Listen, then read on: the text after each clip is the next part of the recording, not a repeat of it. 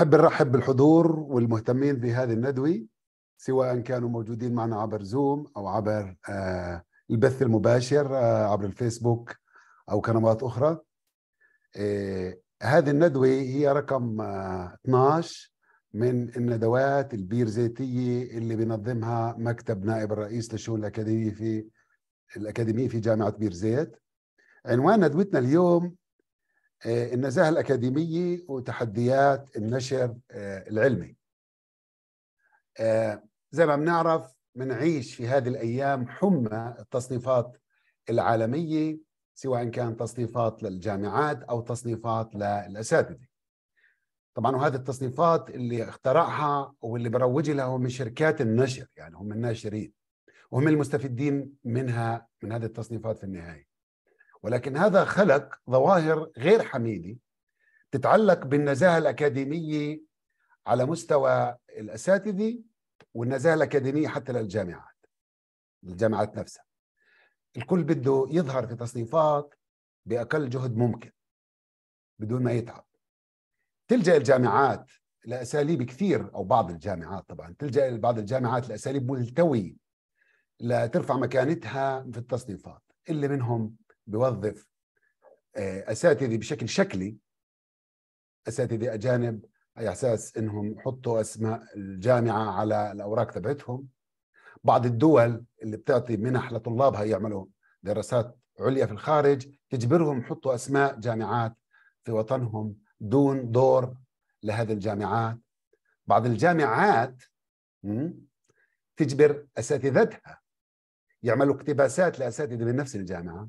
وسمعنا إنه اللي ما بيعمل هيك بياخذ إنذار. بعض الجامعات تتلاعب في معطيات مثل عدد الطلبه الأجانب في التصنيفات وهذا طبعا آه، آه، مشكلة في بعض الدول زي في فلسطين. آه، إحنا ما عندنا طلبة أجانب أصلا وعلى أساس نطلع في التصنيفات العالمية. فبعض الجامعات حطت طلبة ال 48 يعني فلسطينيي 48 طلبه اجانب وبالتالي هذا ليس فقط يعني إشكالية آه، آه، آه، تتعلق بالنزاهة الأكاديمية بل كمان يمكن في القضاء في الوطنية. بعض الجامعات بتسكت وأحيانا بتشجع ممارسات غير نزيهة لبعض المدرسين طمعا برفع مستوى الجامعة في التصنيفات العالمية. وبنعرف كمان في أساليب تحايل كثيرة بيتبعها الاساتذه والباحثين يعني لما أقول الأساتذة والباحثين سواء كانوا طلبة ماستر أو PhD أو أساتذة. اللي منهم بيسرق أفكار غيره بيحطها بطريقة غير مباشرة. اللي بيتلاعب في نتائج التجارب. ويعني بحط القراءات من عنده. آه، بعض الأساتذة ينتموا إلى شلل آه، شلل علمية. اللي بحطوا أسماء بعض آه، أو بيقتبسوا من بعض وغيرها من الممارسات نقولوا في ظل هذه الممارسات مفهوم النزاهة الأكاديمية أصبح له أهمية كبيرة. ليس فقط الأهمية من ناحية أخلاقية بس كمان آه، من ناحية تربوية. إيش يعني تربوية؟ لأنه ثقافة التحايل على النزاهة بتنتقل للطلبة. والأستاذ اللي اللي اللي اللي في اللي ما بيعطي خلينا نقول أهمية للنزاهة والامانه الأكاديمية ما بيقدر يطلب من طلابه يكون عندهم نزاهة وامانه علميه وبالتالي بتنتقل لمجتمع الطلبة هذه القضايا. وبالتالي إحنا بحاجة إلى صيانة وتحصين العملية التربوية بعدم التهاون مع القضايا اللي تتعلق في الأمانة والنزاهة العلميه وإلا بتكون الجامعات معول هدم وليس عامل نهوض في مجتمعاتها تحدث كمان عن إنه جوهر العملية الأكاديمية كلها جوهر الاكاديميا هو الشرف الأكاديمي والنزاهة الأكاديمية. واللي بيتهاون في هذا الموضوع بيؤدي إلى إلى هدم وضياع للمجتمع معرفيا. إذا سمحت المؤسسة أو تهاونت أو غضت النظر عن بعض التحايلات آه وما ردعتها. هذا الشيء هذا سيشجع آخرين على المزيد من التحايل وبالتالي بتفقد المؤسسة سمعتها وبضيع وضيع الصالح مع الطالح في هذه المؤسسة. ومرات بقولوا الدولة الفلانية آه، آه، خلينا نقول البحث فيها بيكون مطعون فيه. إحنا بنسمع في هذه هذه الحالات. بحب أذكركم في بروفيسور من إسبانيا اسمه آه، رافائيل لوكا في جامعة قرطبه واستاذ مشهور في الكيمياء اللي كان بيصدر بحث كل 37 ساعة يعني منتج بشكل هائل جدا. آه عندما تم فصله من الجامعة طبعا الجامعة قرطبه اتخذت قرار فصله بغض النظر حتى لو كان رافع اسم الجامعة بالتصنيفات العالمية. ولكن عندما تم فصله تم ربط اسمه في جامعات عربية يعني كانوا يقولوا وسموا هذه الجامعة بالاسم والدولة هاي بالاسم. أنا اللي بدي أقوله إنه آه، بالرغم من وجود آه، أساتذة لهم يعني أكفاء في هذه الجامعات وفي هذه الدول إلا إنه سمعة البعض اللي آه، سمعة البعض القليل حتى لو كان قليل تضر بسمعة الجامعات وسمعة دولهم. في هاي الندوة رح نلقي الضوء على إشكاليات النزاهة بشكل عام والأمانة الأكاديمية. معنا الدكتور تامر السيد أستاذ في علم الحاسوب بجامعة قطر ومختص في الذكاء الاصطناعي وال information retrieval معنا كذلك الدكتور آه، فرانس جوزيف يلم وهو أستاذ الهندسة المدنية في جامعة ال MIT في أمريكا وكذلك عضو مجلس أمناء الجامعة الأمريكية ببيروت ومعنا أيضا الدكتور مضر قسيس وهو أستاذ الفلسفة في دائره الفلسفة والعلوم السياسية بجامعه بيرزيت ومدير معهد مواطن ومدير آه، مبادرة كرامة في جامعة بيرزيت والإثراء النقاش كل متحدث راح يعطي مداخلة ربع ساعة وبعد ذلك راح نفتح النقاش للجميع لإبداء مداخلاتهم المباشرة أو الأسئلة. ونبدأ من عندك دكتور تامر. تفضل. دكتور مصطفى هل أقدر اشير آه، ال slides؟ تفضل.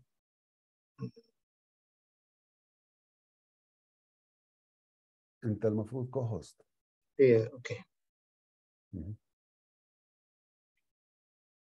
هل ال slides آه، ظاهرة كده؟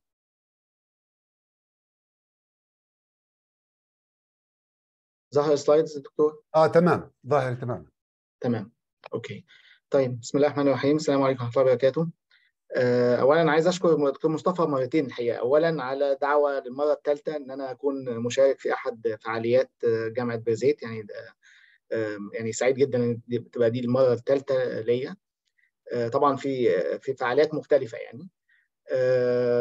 وبشكره المرة الثانية كمان على الموضوع بتاع الندوة دي. الموضوع الندوة دي الحقيقة موضوع هام جدا وحساس جدا. ومن النادر إن إن إحنا نلاقي النقاش مفتوح فيه آه، لل يعني مفتوح يعني تماما لأي حد يحب إن هو يشارك آه، فبشكره جدا على على الموضوع وعلى طبعا دعوته ليا في, هذا الموضوع الهام. عنوان العرض بتاعي إن شاء الله النهارده هو هيبقى نشر العلم الممارسات غير الأخلاقية هركز فيه على بعض الأمثلة من الممارسات غير الأخلاقية. آه، قبل ما أبتدي أحب بس أنوه سريعا بعض الديسكليمرز طبعا أنا هنا أمثل نفسي وليس مؤسستي جامعة قطر. بعض السلوكيات اللي أنا هتكلم عليها طبعا قبل الحكم عليها محتاجة إلى تفصيل فيمكن الوقت هيبقى قليل شوية في في العرض ولكن لو حد حابب إن هو يسأل عليها بعد كده نقدر إن شاء الله نفصل فيها. بعض الآراء هنا آراء شخصية بناء على الخبرة العملية في البحث العلمي. وطبعا النقد والاختلاف في رأي مرحب به آه، هتكلم على ثلاث نقط في العرض ده. اولا ليه إحنا بننشر أصلا أبحاثنا؟ آه، إيه الهدف من نشر الأبحاث؟ آه، وبعدين هدي بعض الأمثلة للممارسات غير الأخلاقية بناء على الأهداف بتاعه نشر الأبحاث. وأخيرا حلقي يعني بعض الضوء على من وجهة نظري ما واجبنا نحو تلك الممارسات. نعمل إيه عشان يعني نحسن من الوضع الحالي للأسف؟ اولا ليه بننشر أبحاثنا أصلا؟ هبدأ بالهدف الأساسي الهدف الرئيسي الهدف الحقيقي لنشر الأبحاث. من وجهة نظري الهدف هو تطوير آه، آه، وضع العلمي في مسألة معينة. عندي مسألة بحثية معينة آه، بتخدم المجتمع بطريقة مباشرة بتفيد المجتمع. عايز أطور البحث فيها وأطور الحلول المقدمة ليها. فده المفروض ده يكون هو الهدف الأساسي لنشر البحث. طبعا لو أنا عملت البحث وما نشرتوش فغيري مش هيعرف بيه وغيري مش هيكمل عليه. فمن هنا تيجي أهمية النشر نفسه. إنما البحث نفسه هو هدفه إن أنا أخدم أو أحل مسألة بحثية معينة. الهدف الثاني هو تطوير المعرفة الإنسانية. إحنا طبعا مع البشر مع مرور الوقت بيعرفوا أكثر عن البيئة المحيطة وعن الحياة بشكل عام.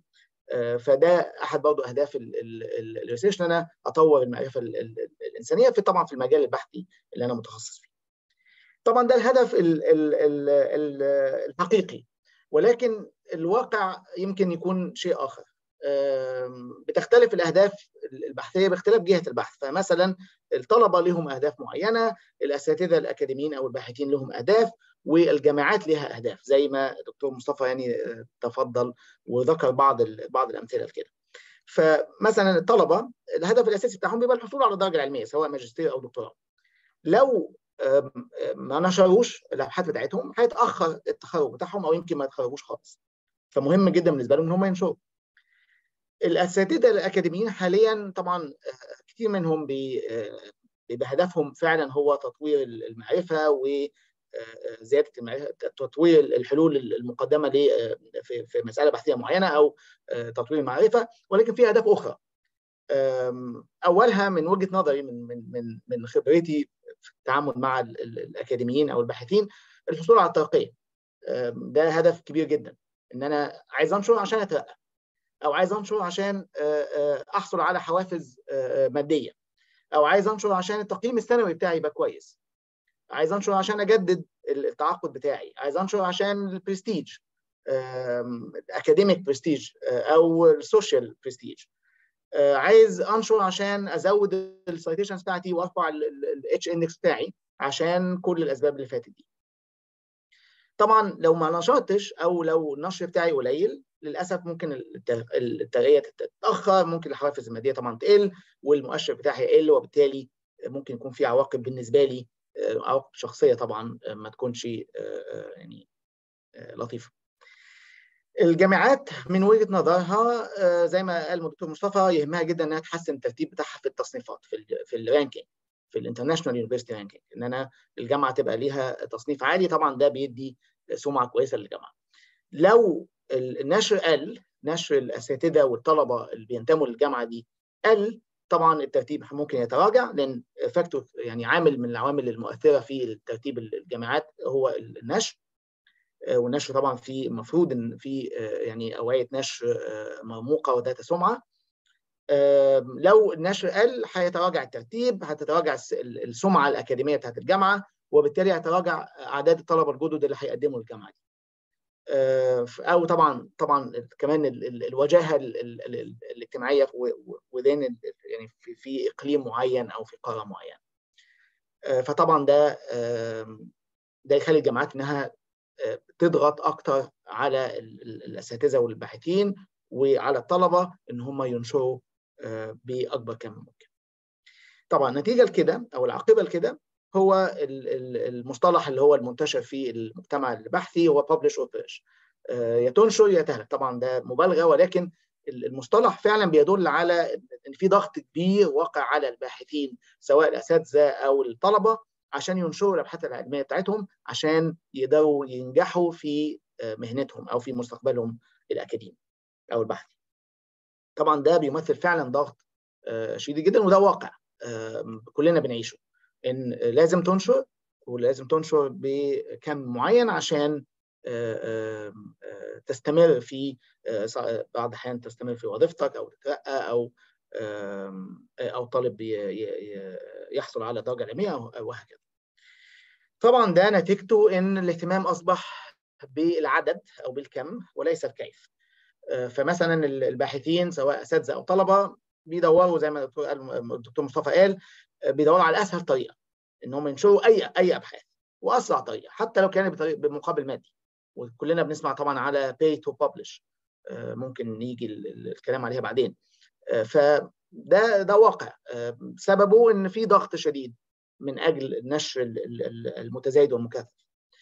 ال publication venues أو الاوعيه النشر من ناحيتها بيجي لها طبعا نتيجة لكده بيجي لها كم كبير من من ال papers عشان تعمل لها review طبعا ده بيسبب إن وقت قليل جدا متاح للتقييم وبالتالي جودة أقل للتقييم وبالتالي هنلاقي إن في أبحاث كتيرة جدا منشورة ولكن غير ذات قيمه لأن لا هي اتعملت كويس ولا هي اتراجعت ولا هي أصلا يمكن منشورة في المكان الملائم ليها ومشاكل كثيرة.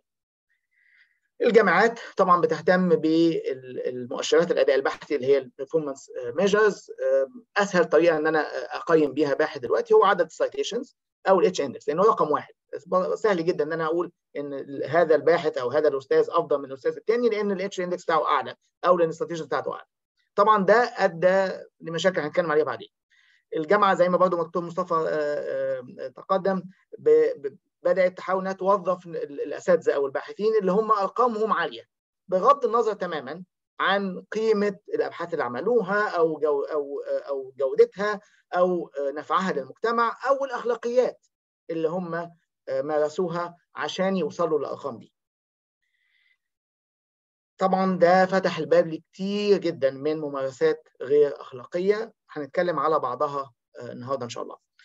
هتكلم على 10 أمثلة بعضها يمكن هتكلم عليه ببعض التفصيل وبعضها همر عليه سريعا. قد تكون هذه الأمثلة يعني common لبعضنا. ممكن تكون كلها common ولكن أعتقد إن إحنا يعني هنشوف بعض الممارسات اللي هي يعني للأسف منتشرة جدا وابتلي بها المجتمع البحثي في الفترة الأخيرة. قبل ما اتكلم على الأمثلة دي هتكلم على يعني إيه إن أنا أبقى مؤلف لبحث أو author لبحث أو co-author لبحث. يعني إيه إن أنا أبقى co-author؟ عشان أبقى co-author المفروض إن أنا شخص باحث طبعا قدمت مساهمة حقيقية مؤثرة في البحث ده. أو بالإنجليزي strong contribution يعني ليه strong contribution في البحث ده. طيب يعني إيه مساهمة حقيقية مؤثرة؟ ممكن كل واحد يفسرها بطريقة مختلفة. أنا هقولها بطريقة بسيطة جدا.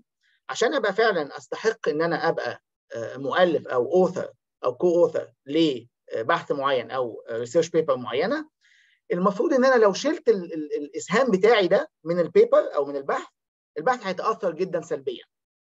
هيفقد ركيزة أساسية هيفقد ركن أساسي منه هيفقد contribution أساسي فيه. من غير البحث من غير الاسهام ده البحث هيتأثر كتير جدا. فطبعا ال definition ده بسيط ولكن إلى حد ما يوضح أهمية إن أنا المفروض يكون ليا فعلا مساهمة حقيقية عشان أستحق إن اسمي يكون على البحث.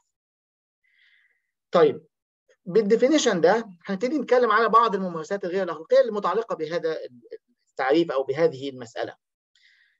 أكتر حاجة الحقيقة بشوفها كتير في الممارسات دي هو إضافة اسم شخص على الورقة البحثية دون مساهمة حقيقية بنلاقي أسماء أشخاص كتير قوي محطوطة على research papers وهم فعليا قد يكونوا لا يفقهوا أي شيء في ال paper دي أو مساهمتهم مساهمة يعني بسيطة جدا زي مثلا إن أنا بحضر ال meetings بتاعت ال project فبما إني بحضر من غير ما أقول أي حاجة يبقى المفروض اسمي يتحط على ال project وهكذا في أمثلة كتير هنتكلم عليها. دي أنا من وجهة نظري ظاهرة يعني منتشرة جدا. وسببها بنلاقي بقى أسماء أشخاص كثيره جدا على أوراق بحثية. يعني مثلا ممكن ألاقي ورقة بحثية عليها ستة أو سبع أسماء لأساتذة وطالب واحد.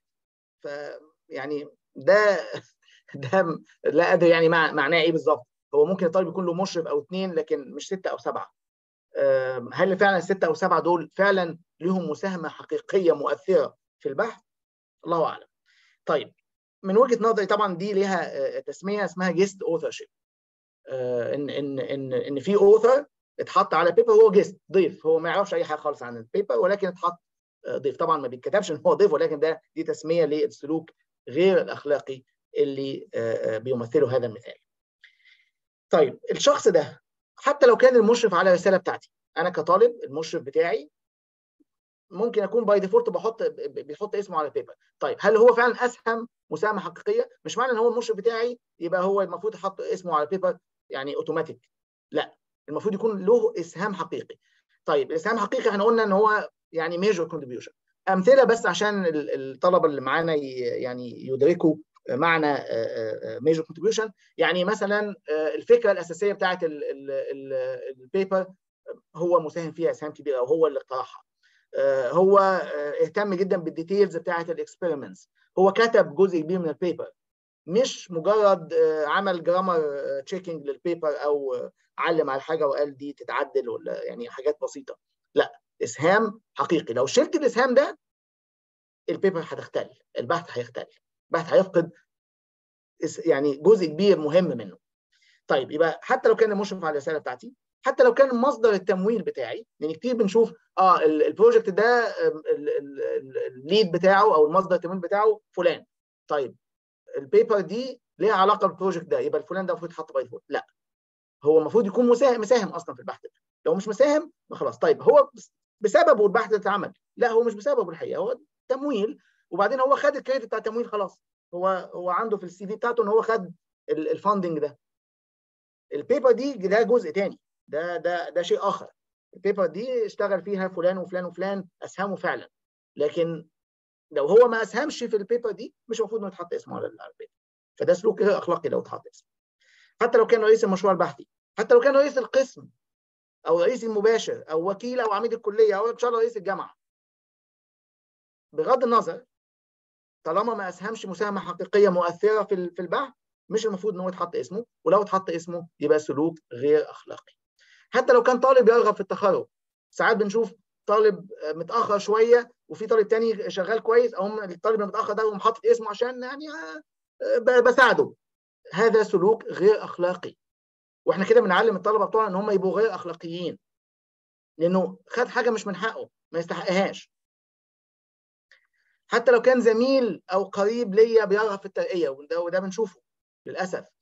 فلان متأخر في الترقية بتاعته ومحتاج بس paper واحدة بس. فيعني أزود اسمه كده عشان يعني مش هيخسر حاجة. الناس اللي في ال paper مش لا طبعا هي مش مسألة مش مش حكاية إن الناس في ال paper مش بيخسروش حاجة لأن اسمه مثلا بقى في الآخر ولا حاجة. لا هي مساله مسألة فيها مسؤولية كمان. يعني وضع الأسماء على ال paper دي مسؤولية كبيرة لأن لو في أي مشكلة في ال paper كل الناس اللي أسمائهم على ال paper دول هتبقى مسؤولية مسؤوليتهم. فهي مش بس مش مش مش بس كده أحط اسمه وخلاص لا هي مسؤولية. فحتى لو كان زميل أو قريب والحقيقة بنشوف قرايب كمان يرغبوا في الترقية لا طبعا ده ده سلوك غير أخلاقي. حتى لو كان معروف في مجاله وان أنا أضيف اسمه على ال paper بس يعني كده هتسهل لي إن هو البحث يتقبل في المجلة دي. وبنشوف ده الحقيقة. هذا غير أخلاقي غير أخلاقي لأن هو ملوش علاقة بال paper وبعدين معنى كده إن أنت قابل إن إن البحث بتاعك يقبل رغم إن هو لا يستحق إن هو يقبل بسبب بس إن هو عليه اسم فلان اللي هو مشهور جدا في ال field بتاعه. هذا غير أخلاقي. حتى لو كان وده شفته الحقيقة. حتى لو كان هو اللي اتحط اسمه فقط عشان يدفع مبلغ النشر. للأسف في دلوقتي كتير قوي مجلات بيدفع ليها عشان البحث ينشر. أو أنا جايب حد بقى شخص يعني ميسور ماديا يدفع لي. أحط اسمه على البيبر هو مشكورا يعني لو هو قابل صدقة علمية إن هو يدفع. لكن ده مش الدفع ده مش مش مش مساهمة فعلية في البحث. هذا سلوك غير أخلاقي. طيب المثال الثاني شبيه بالمثال الأولاني بس مش على research paper بقى على research proposal أنا بكتب المفروض إن أنا أكتب research proposal عشان يجي لي تمويل أو يعني مقترح بحثي عشان يجي لي تمويل عليه من جهة تمويل معينة. أو أنا جايب ريسيرش بروبوزل جاهز كده جاي لي من من من جهة خارجية وحاطط عليها اسمي عشان بس الشرط إن لازم يتحط عليها اسم من جهة معينة. عشان يقبل ويقبل البحث وأبقى أنا اسمي على البحث المقترح اللي أنا أصلا لا أفقه فيه شيء. وما كتبتوش خالص اتكتب بالكامل بإيد وعقول أشخاص آخرين دون مساهمة مني. هذا طبعا أنا بس دي دي تسميتي أنا guest PI بدل guest author يعني أو guest lead PI ساعات كمان ده طبعا سلوك غير أخلاقي. تعديل أو ال manipulation بتاع المؤلفين. ساعات يبقى الشخص عايز بس يترقى ف لا أنا عايز اسمي يبقى الأول رغم إن الطالب هو عامل كل شيء. لكن أنا عشان المشرف بتاعه أنا اسمي يبقى الأول عشان ده هيساعدني في الترقية ده هيتوافق مع الترقية. هذا سلوك غير أخلاقي وللمرة الثانية ويمكن الثالثه ده بيعلم الطلبة إن هم يعملوا كده لما يكبروا لما يبقوا دكاترة لما يبقوا يبقوا عندهم السلطة. إن أنا إن أنا أقدر أغير. لا طبعا الترتيب بتاع المؤلفين على الورقة ده مش مش مش عشوائي. الترتيب ده محطوط بطريقة معينة. طبعا وفقا للمجال البحثي كل مجال بحثي له العرف بتاعه في ترتيب المؤلفين. لو تلاعبت بالترتيب ده عشان يبقى مين فلان الأول عشان بس هساعده في الترقية بتاعته طبعا ده سلوك غير أخلاقي. للأسف بنشوف إن إحنا في بعض الأحيان في ناس بتأجر باحث باحث أو عدد من الباحثين عشان ينفذوا ويكتبوا الأبحاث. طبعا هم ممولين عن طريق الشخص ده. فأنا أنا كشخص بعمل حاجة غير أخلاقية مش عارف أعمل البحث بتاعي وما عنديش وقت إن أعمل البحث بتاعي. أقوم أأجر hiring بمقابل مادي. ناس يعملوا لي البحث ويكتبوا ويكتبوه وينفذوه كل حاجة. وأنا بس مش هضيف حتى أسمائهم. يعني أنا مش هضيف أسمائهم أنا هضيف اسمي. هم واخدين أجر. طبعا هذا سلوك غير أخلاقي. طبعا ده اسمه ghost authorship يعني ال author أصلا مش موجود شبح اختفى. ال author الحقيقي وحطيت بداله اسمي أنا. طبعا هذا سلوك غير أخلاقي. لقينا إن إحنا في دلوقتي بقى برضه منتشر حكاية الشراء الأبحاث. أبحاث اوريدي قبلت في مجلات مجلات بحثية ومنشورة أو معروضة للبيع. خلاص ده مقبول. ادفع بس أنت وعشان أحط اسمك على. طبعا برضه هذا بالتأكيد سلوك غير أخلاقي. الدكتور مصطفى تفضل مشكورا وقال عن الموضوع ده الاقتباس المتبادل اسمه citation circles إن أنا أنا مجموعة كده من من ما أعرفش بقى الاصدقاء ولا الزمايل أقول له أنا هعمل citation لل papers بتاعتك وأنت تعمل citation لل paper بتاعتي والثالث يعمل citations لينا وهكذا عشان نعلي ال citations بتاعتنا كلنا. طبعا هذا سلوك غير أخلاقي إن أنا أعمل citation لحاجة مالهاش علاقة بالبحث. دي مجرد إن أنا عايز إيه؟ أعمل manipulation أو تلاعب بال system بتاع ال citations مثال سابع. ودي للاسف أنا شفتها. بعد ما ال paper تتقبل يقوم شخص ضايف قائمه طويلة جدا من ال citations لأبحاث بتاعته هو شخصيا. قبل تسليم النسخة النهائية. يعني خلاص قبلت قبلت من غيرها. أو أنا ضايف بقى 20 citation ل 20 paper ليه عشان أعلي ال citation بتاعتها. طبعا ده self citation بس ده excessive يعني self citation ممكن يحصل لو أنا بكمل على بحث ليا لو أنا فعلا في علاقة وثيقة ما بين البحث ده والبحث بحث آخر ليا في الماضي لكن مش بالطريقة دي. وده للاسف بنشوفه. وساعات بنشوفه من reviewers من مراجعين يقول لك أنا paper دي ناقصة 30 30 مرجع دول وتلاقي مثلا ال 30 دول 29 منهم بتاع شخص معين. هذا هذا سلوك غير أخلاقي الحقيقة. بنلاقي دلوقتي نتيجه للضغط الشديد على المجلات إنها تبقى برضه لها ranking بتلاقي إن هم ساعات بيرغموا الباحثين إن هم يضيفوا citations لأبحاث سابقة من نفس المجلة حتى لو هي مالهاش علاقة. يقول لك أنا مش هقبل أصلا أنا مش مش هدخلها أصلا review إلا ما يكون فيها عدد معين من ال citations references للمجله دي ابحاث ثانية طبعا برضه هذا سلوك غير أخلاقي. ده forced self citation للمجلة نفسها لل journal حاجة ثانية وبدأنا نشوفها دلوقتي إن إن بعض الباحثين بيجي ياخد copy من research paper موجودة أو جزء منها كبير طبعا ده اسمه plagiarism لكن هو عشان يعدي ال plagiarism detector عشان يضلل النظم الكشف السرقات الادبيه دي بيقوم مغير شوية في التعبيرات الشهيرة. يعني مثلا طبعا مثال ده أنا ما شفتوش حقيقة بس يعني مثال مش بعيد قوي عن اللي أنا شفته. كلمة مثلا أو فريز artificial intelligence ممكن يغيرها ل artificial smartness مثلا عشان ما تبقاش exact match مع الحاجات الموجودة. طبعا ده بيسموه tortured phrases وده ده بقى أصبح دلوقتي حاجة موجودة وللأسف أنا أنا شخصيا شفتها. فطبعا ده هذا سلوك برضه غير أخلاقي. السلوك الأخير اللي أنا هنوه عنه هو وده بدأت برضه أشوفه إن عشان أنشر وخلاص بقيت أروح أنشر أبحاث في مجال معين المفروض البحث ده له علاقة بمجال معين انشره في مجال في مجلات ثانية خالص ملهاش أي علاقة بيه. مثلا في special issue مثلا مجله ثانية صاحبي صاحبها أو ال editor بتاعها صاحبي فمثلا ألاقي مثلا أبحاث ليها علاقة بال natural language processing أو معالجة اللغة الطبيعية منشوره في مجله العلوم الطبية البيولوجية مثلا biological sciences إيه علاقتهم ببعض؟ مش مهم. المهم إنها اتنشرت. طبعا هذا سلوك غير أخلاقي. طبعا كل ال ال ال الأمثلة دي طبعا في غيرها كتير جدا يعني للأسف. دكتور مصطفى بس قال لي 15 دقيقة limited لل 10 أمثلة دول. آه لو كان في وقت أكتر كنت اتكلمت أكتر لكن في غيرها كتير قوي من السلوكيات غير الأخلاقية للأسف الشديد. طبعا النتيجة لكده إن بقى الناس اللي بيقوموا بالسلوكيات غير الأخلاقية دي ان ما حدش بيكلمهم لأن ما حدش بيقول لهم ده غلط. بالعكس يعني بيكافئوا بيكافئوا بحاجات كتير قوي بيكافئوا بترقيات غير مستحقة. بيكافئوا بشهادات ماجستير ودكتوراه غير مستحقة. بمراكز عالية وتصنيفات عالمية طبعا بتكلم هنا على جامعات غير مستحقة. جوائز بحثية غير مستحقة. بناخد best researcher مثلا أنا يعني غير مستحقة تماما. حوافز مادية طبعا غير مستحقة. سمعة إن أنا بعمل research عظيم غير مستحقة. وهكذا حاجات كتيرة جدا. آه طبعا كل ده بعيد جدا عن الهدف الأساسي. يعني نرجع بقى للأول slide في في العرض إن الهدف الاساسي من نشر الأبحاث كان إن أنا أطور الوضع العلمي مش إن أنا أعلي ال citations بتاعتي وأعلي ال H-index طبعا ده السلوكيات دي بعيدة كل البعد عن الهدف الأساسي من النشر.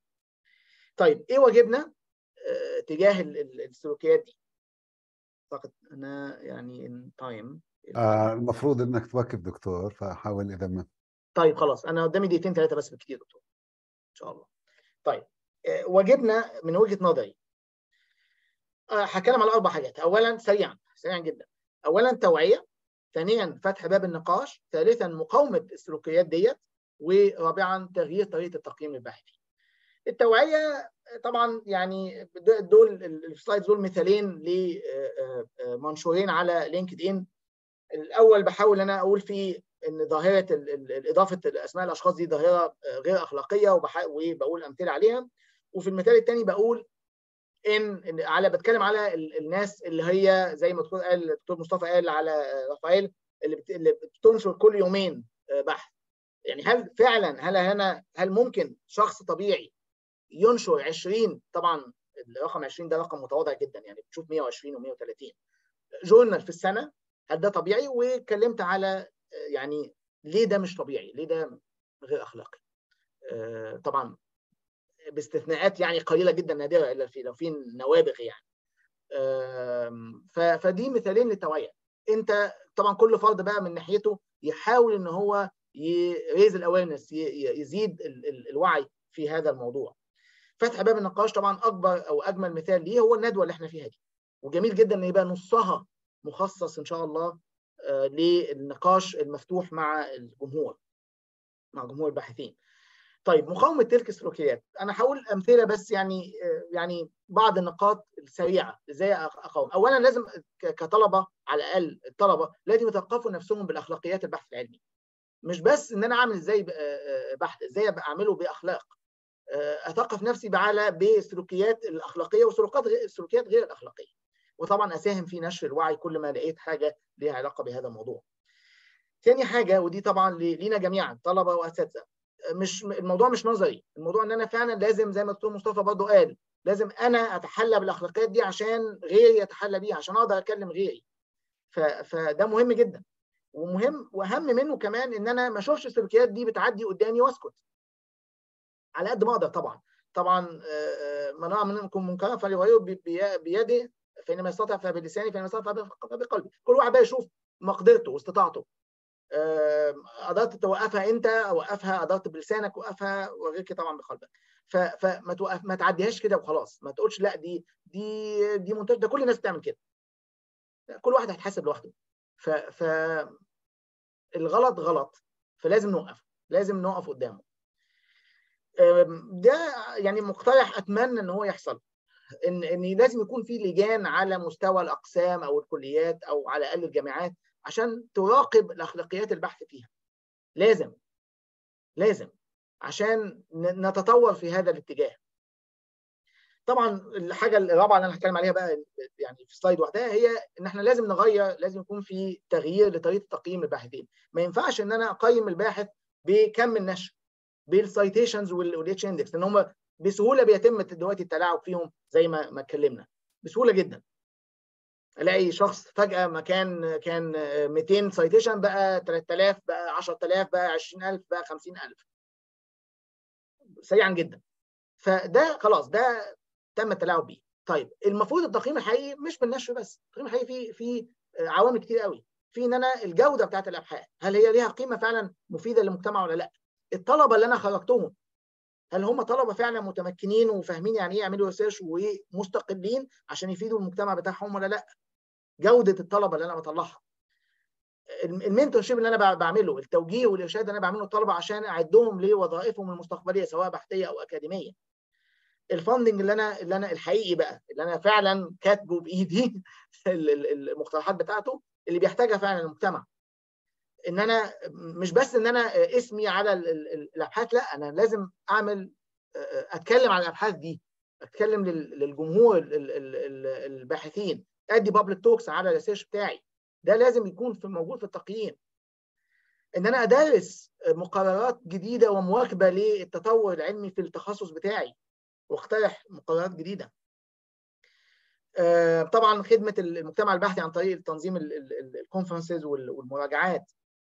قيادة المجتمع البحثي في اتجاه معين. أنا شايف ان إن المفروض البحث يكون في مجال معين فأقترح أشتغل فيه واقترح فيه مهام بحثية ومسابقات وورش عمل وحملات تقييم زي الموجودة في الفيلد عندنا وهكذا. التمتع بسمعة طيبة في المجال البحثي. لازم يكون أنا في مجالي عندي سمعة مش أنا شغال مع في 20 30 مجال كده أحط اسمي هنا أحط اسمي هنا أحط اسمي هنا ما يبقاش ليا سمعة في أي منهم. لا طبعا. لازم يكون ليا سمعة في المجال البحثي التخصص بتاعي. لازم يبقى ليا تخصص. الحصول طبعا على جوائز بحثية دولية وليس محلية للأسف الجوائز المحلية كتير منها يعني ما بيبقاش يعني دقيق. فالحصول على جوائز بحثية دولية ده حاجة مهمة. وطبعا أخيرا التمسك بالاخلاقيات أخلاقيات البحث العلمي نفسها. لازم أكون أنا بعمل كل ده وبتمتع بأخلاق البحث العلمي الحقيقيه فليس يعني مش من العدل اطلاقا إن أنا تقييم الباحثين الأكاديميين يبقى محصور في رقم أو اثنين ده مش عدل ابدا. أنا فاهم أنا عارف إن دي طريقة سهلة جدا ولكن الطريقة دي مش عادلة وبيتم التلاعب فيها. الدليل على على كلامي ده إن سنة 2022 السنة الماضية واحد من اللي فادوا ب أو حادوا على جائزة نوبل اسمه جون كلاوزر ال H-index بتاعه 29 وده طبعا بالنسبة لفطاحل ال H-index اللي في العالم ده ولا حاجة يعني. 29 ده ده ده يجيبوه في سنتين ولا حاجة ده ولا حاجة. ف ف فده الحمد لله دليل إن يعني في أمل وإن الجودة هي الأهم. يعني الراجل ده ال H-index بتاعه مش يعني متواضع بالنسبة للفطاحل دول ومع ذلك حاز على جائزة نوبل. يبقى الأهم مش عدد ال citations ولا ولا ال H-index الأهم هو فايدة الشغل البحث اللي عمله للمجتمع وللعالم. أتوقف هنا وشكرا لحضوركم واستماعكم وأتطلع إن شاء الله لاسئلتكم ومناقشه السلام عليكم. آه شكرا جزيلا دكتور تامر. آه قبل ما ننتقل دكتور فرانس بحب أذكر إذا في حدا عنده أسئلة ممكن يكتبها مباشرة على ال Zoom أو يبعث لي إياها مباشرة. آه تفضل دكتور آه فرانس. فرانس uh, you you may speak in English if you like uh, I don't know Uh, how yes. your Arabic is, is good. So, so first of all, uh, thank you very much, and I'm sorry that uh, uh, my Arabic uh, is not good enough to discuss uh, uh, the role of ethics and why does it matter. So I will speak uh, ho- hopefully sufficiently slow. I also had hoped that Mustafa will be able to pull out his AI system to translate in real time uh, what I'm saying in Arabic.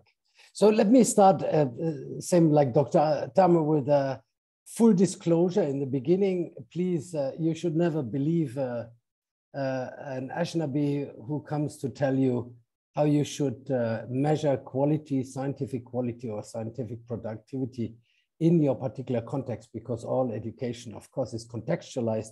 And I consider research an integral part of um, of, of education. I think is there where the focus should be uh, in the 21st century.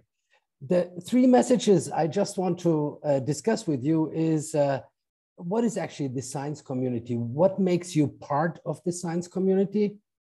Um, and why should you care about it?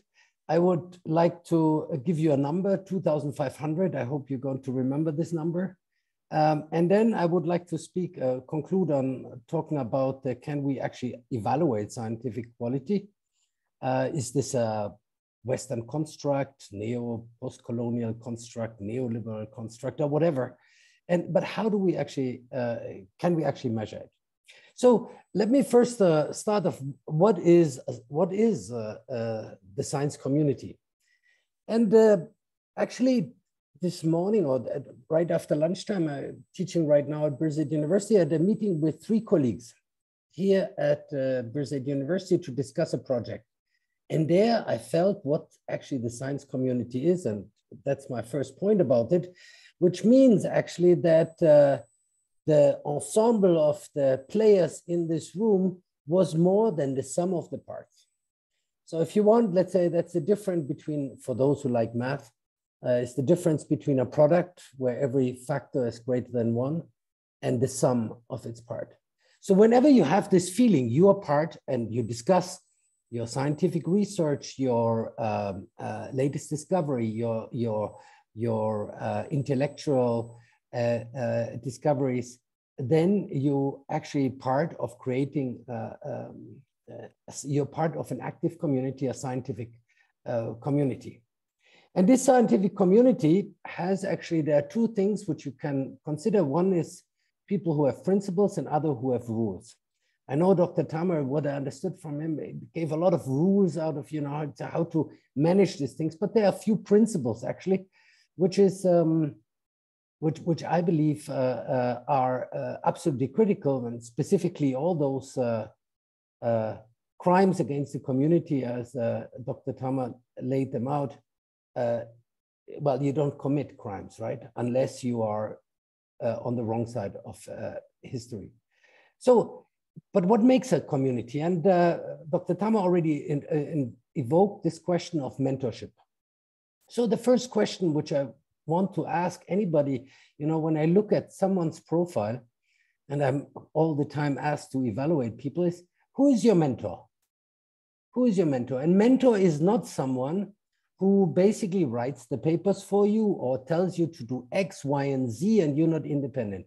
Who is your mentor? And your mentor is critical because you see, let's say, yeah, does the mentor did a good job in orienting you towards an independent scientific career, uh, uh, opening you doors where necessary, and uh, uh helping to get you started, to get you out of the starting block. That's the first question. The second question, which I asked to my more senior colleagues when it comes to senior evaluation, and for instance, for the European framework programs is, who are your mentees? So give me a list of those here and tell me where they are right now. How did you help them to reach their potentials? Uh, uh, how did you help them to reach their potentials? So these are is a critical point about this. Before we speak about any scientific production, we need to speak about the players of this. And in the scientific rearm, there are mentors and there are mentees. I know this sounds a little bit like, oh, I don't need anybody. I'm independent. I'm, I'm a grown up person. Uh, uh, but the whole scientific community actually has always been based on it. Whether you derive your scientific approach from uh, a group of people, from your PhD supervisor or someone else, you, we build up these uh, mentorship uh, groups. And I believe that is something which uh, uh, makes the scientific community. And with having a mentor and being part of a group of mentees, I think many of the crimes which Dr. Tamer evoked will simply not happen. Um, so that's the first thing. The second one is about what makes a productive uh, scientific career. And I can only speak about science and engineering here. I cannot speak about uh, uh, humanities, there are uh, quite different rules, but there's a good rule for science and engineering. It's the 2,500 days rule. So remember this number, 2,500 days rule. 2,500 days, if you're working after 2,500 days, still on the same problem, you either are uh, close to getting, um, to discovering a complete new theory that may be so, or you simply got stuck and uh, uh, you are procrastinating. So typically 2,500 days, which is roughly seven years, is sort of the time frame which you should give yourself to from the beginning to the end of a topic in your scientific career. So when you think about it, how many of those projects you're having, you finish your PhD around 30, maybe 30 with a postdoc 35, and you start your independent career, you look if you are if you are lucky to two to three topics which which I call portfolio, your your toolbox, your portfolio, in order to um, uh, tackle them from the beginning, where you learn something new, uh, you enter a complete new field, you have no idea what it is about, until the point where you say, "Oh, maybe here I can contribute something to the field." And the contribution to the field is, uh, is uh, what is typically evaluated.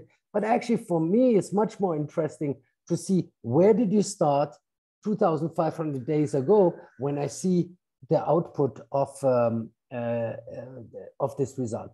Which means, in essence, if you are lucky, you have uh, two home runs or three home runs, as, as people in baseball would, would say, meaning that you have brought a topic from the beginning, from method development all the way to eventually with the impact, translating it into impact uh, uh, uh, in your career. And that's a successful career.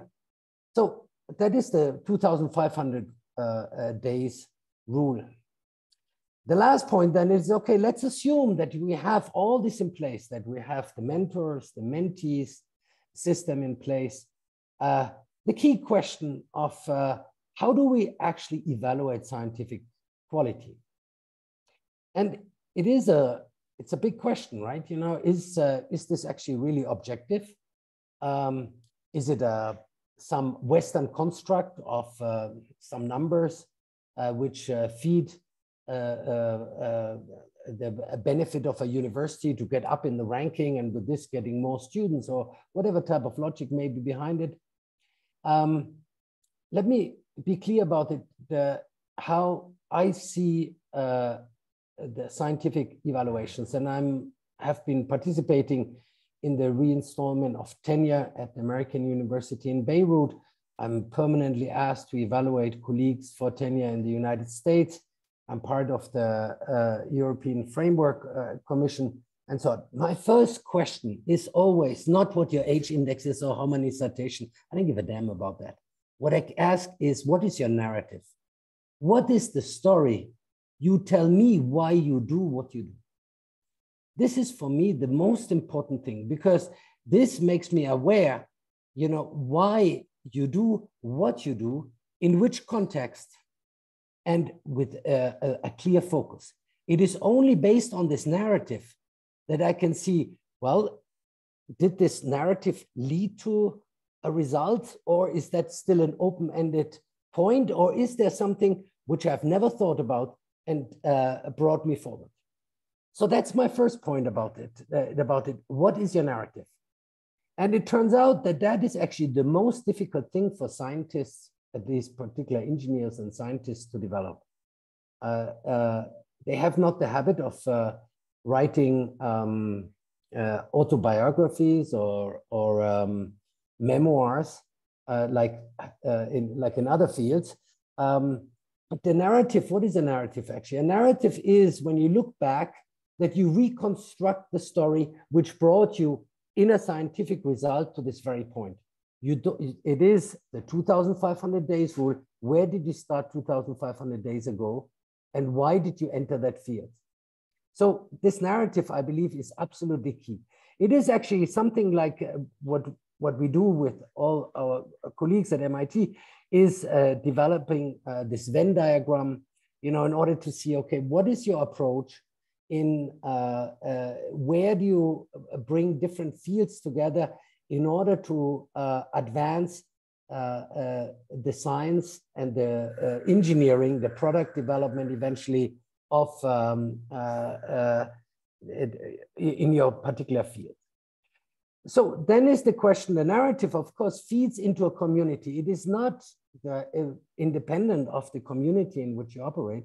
The community actually is the one which cherish and elevates this, uh, this narrative, if it is part of, uh, if, if you want to have a space in this community, you contribute with your narrative to the overall well-being of this community.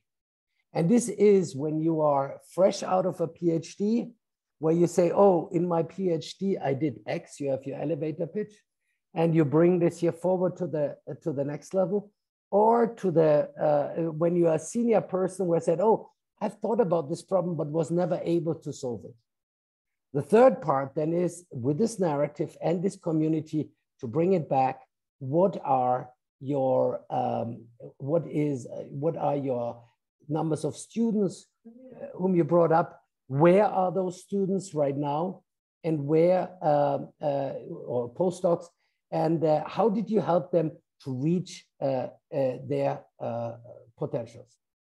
Given all this, you will understand that um, the numbers, the H index citation, have no meaning in this in in this scientific community it's a construct actually it's a, it's a no construct in order to provide some hierarchies in um, uh, departments in smaller units in order to see okay to make a comparison and maybe make salary distribution.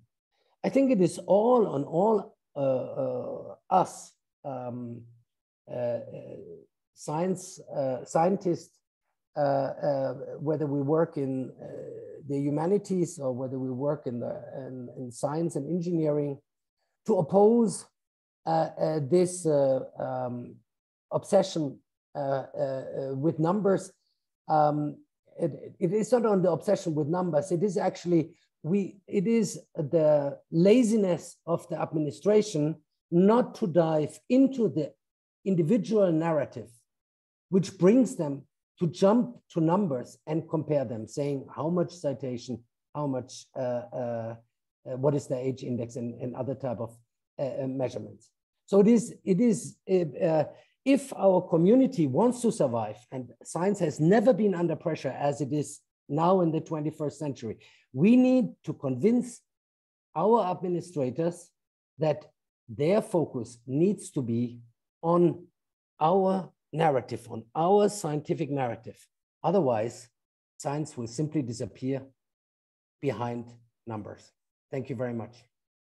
Uh, thank you, Franz. Uh, it's actually also a very similar message from Dr. Tamer was the way we evaluate, we have to go to dig into the narrative and to see.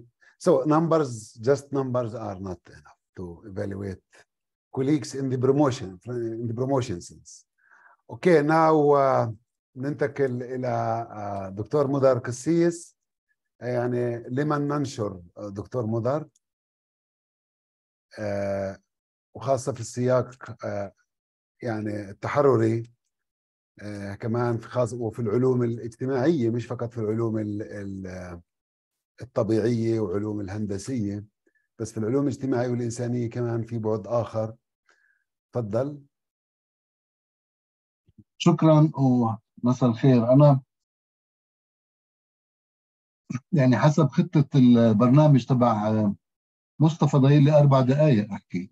بس نزيدهم 10 بصير 14 أنا بدي أحاول أكون مقتضب ومن امبارح بفكر كيف.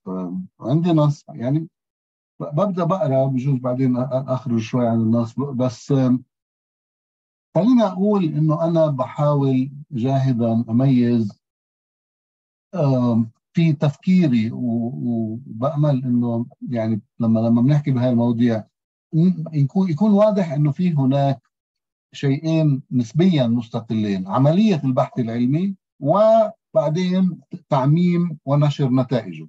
في عملية إنتاج معرفة وفي منتوج للمعرفة اللي بيجري بعدين تعميمه في ناس بتحب تفكر إنها بتسوقه أو بتبيعه أو اللي هو. ولكن الحكم على إنتاج المعرفة من خلال النشر أنا بعتقد إنه هذه مأساة. وكل الأرقام وال quantifiers وال H-indexes وال citations واللي بنحطه هم بيحاولوا يحكموا على عملية الإنتاج فقط من خلال يا ريت نتيجتها وإنما من خلال قدرة المنتج على تسويق ما أنتجه. في هاي المجلة في هذا ال website في هاي ال ال ال إيش بسموهم عندنا بجامعة بيرزيت الأوعية. في هذا الوعاء اللي, اللي بنحط فيه. أنا بحب أبدأ بسرد مقتضب بدي اختصر لحادثة حقيقية حصلت مع أحد زملائنا. المضبوط اليوم استأذنته إنه أقول اسمه فهو الدكتور ماهر أبو ماضي ماهر أرسل مقالة للنشر في مجلة. بموضوع بعرفش قديش مشهور بس اسمه virtual walking أه وتفاجأ لاحقا بأن أحد المراجعين reviewers أه الذين أوكلت الذي أوكلت إليه مهمة إبداء الرأي في المقالة بعد أن أوصى بصلاحية المقالة للنشر راسل زميلنا أه ماهر لأنه اكتشفوا من خلال نوع الشغل اللي مشغول والأمثلة اللي وارده وما إلى ذلك ما هو عالم صغير هذا مجتمع الباحثين فرانس. نادي صغير. راسلوا وعبر عن استهجانه الشديد ليش ماهر بيكتب في موضوع بحاول يعالج مشاكل المياه في فلسطين أو شح المياه في فلسطين بحلول تقنية وما يشبه ذلك بالوقت اللي مشكلة المي بفلسطين هي إنه إسرائيل تسرق مش إنه في في مشاكل تقنية ولازم نوفر هون ونوفر هناك وما إلى ذلك. إنه أنت هذا عرض لعرض لمشكلة.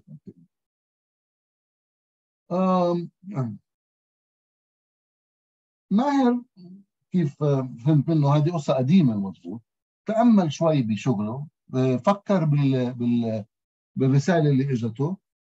وقرر يسحب مقالته من النشر طلب من المجلة إنه بطلت بدي أنشر. أنا ما بدي أساهم في عرض حلول تجعل من شح المياه في فلسطين امرا طبيعيا. علينا إيجاد حلول تقنية له وكأنه ناتج عن الجغرافيا الفلسطينية ولا عن المناخ ولا ما إلى ذلك. لأنه هذا العرض يعمي المشكلة الأساسية التي تكمن في سرقة مواردنا الطبيعية من قبل قوة استعمارية. هلأ بفكر الواحد أنا هذه هذه قصة هذا الزميل المضبوط مش أول مرة بستعملها في الواقع حتى استخدمناها في البورتل تبع تعلم أخلاق البحث العلمي اللي, نشأ مؤخرا في جامعة بيرزيت آه وفي كثير يعني مش كثير ولكن مر علي زملاء اللي سألوا يعني ماهر لما هذا الأستاذ لما هذا الزميل عمل هيك لما تصرف هيك هل كان ببالغ في ردة فعله؟ يعني هل هل هل الحل التقني اللي كان مخترعه هو يعني مش حل بنفع العلم؟ هل كان هو مفرط يعني في الحيطة والحذر في هذا الوقت؟ هل كان هو عم بيعمل ايمج يعني من نكران الذات اللي اللي ما له داعي اللي متجاوز لما هو معقول. أو أنا بسأل على الأغلب أو بقول إنه على الأغلب إنه هو فقط نشأ عنده شعور بالواجب. شعور بالواجب إنه ما ينشر. وهذا إشي شوي صعب. صعب إنك تكون مشتغل وعندك إشي تقوله آه وتقرر إنه ما تعممه مشان لكي لا يفهم خطا أو لكي لا يغطي على شيء آخر ربما أكثر أهمية في المرحلة دي. وبالتالي بنشأ السؤال إذا كان يعني طبعا إذا في واجب وما وتقاعسنا عن القيام بالواجب في مشكلة واضحة اخلاقيا. أنا ما راح أدخل في يعني عرض بعتقد ما في داعي لشرح إنه مثلا السرقة مش منيحة ونسخ وحط اسمك وأنت مش كاتب شيء مش منيح وما إلى ذلك. أنا بعتقد إنه إحنا لازم نتجاوز في تفكيرنا مش لأنه هذه مش مشاكل هذه مشاكل حقيقية وحكى عنها دكتور تامر وباستفاضة ولكن في أشياء أبعد من الأمور اللي واضحة للمعالم الأمور البينة. بتساءل إذا كان في علينا واجب وتقاعسنا عن القيام بالواجب الواحد بيكون كأنه يعني يعني متقاعس وهذا سوء ائتمان لأنه إذا علي واجب مهني لأنه أنا لأنه أنا متوقع مني شيء معين فلازم أقوم بواجبي. وبالتالي أنا بعتقد إنه النشر أنتم بتحكوا نحكي إحنا عن النزاهة الأكاديمية أنا بعتقد إنه نشر مقالة لما أنت بتعرف عيوب من هذا القبيل فيها هو الفساد. ها؟ فساد ليش؟ لأنه الفساد هو خيانة الائتمان. الفساد هو breach of trust ها؟ لما حدا بيأتمني على شيء خليني أخذ دقيقتين بس وأحاول أتحدث بدي, بدي أقول إنه أنا بقتبس هون عبارة من زميلي اللي شفته موجود هون مع إنه حاطط شعار إنتل بدل بدل صورته. باسم الزبيدي باسم باسم باسم بفكر بمعضله كبرى اسمها الفساد الأكاديمي.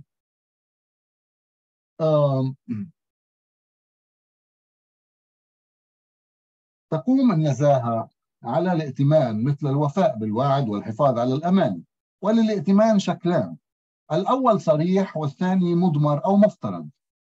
يعني وتشكل المسؤولية المهنية اللي هي مسؤولية الباحث هون بصفته الوظيفية لأنه أستاذ في الجامعة أو باحث في الجامعة أو أو عنده عقد وما إلى ذلك أمانة صريحة أمانة صريحة. وفي الغالب مدمجة في العلاقة التعاقدية بين الباحث ومؤسسته بينه وبين الناشر ومدونات السلوك المهني وما يشبه ذلك. ولكن اطلاع الباحث بالمسؤولية بصفته عالما وأكاديميا أنا كنت عم بدور على كلمة عربية مناسبة لسكولر وما لقيتش واحدة خصوصي يعني. بس خلينا نست... أنا بحب أستعمل كلمة عالم مش باحث لأنه الباحث هي زي وظيفة. ف...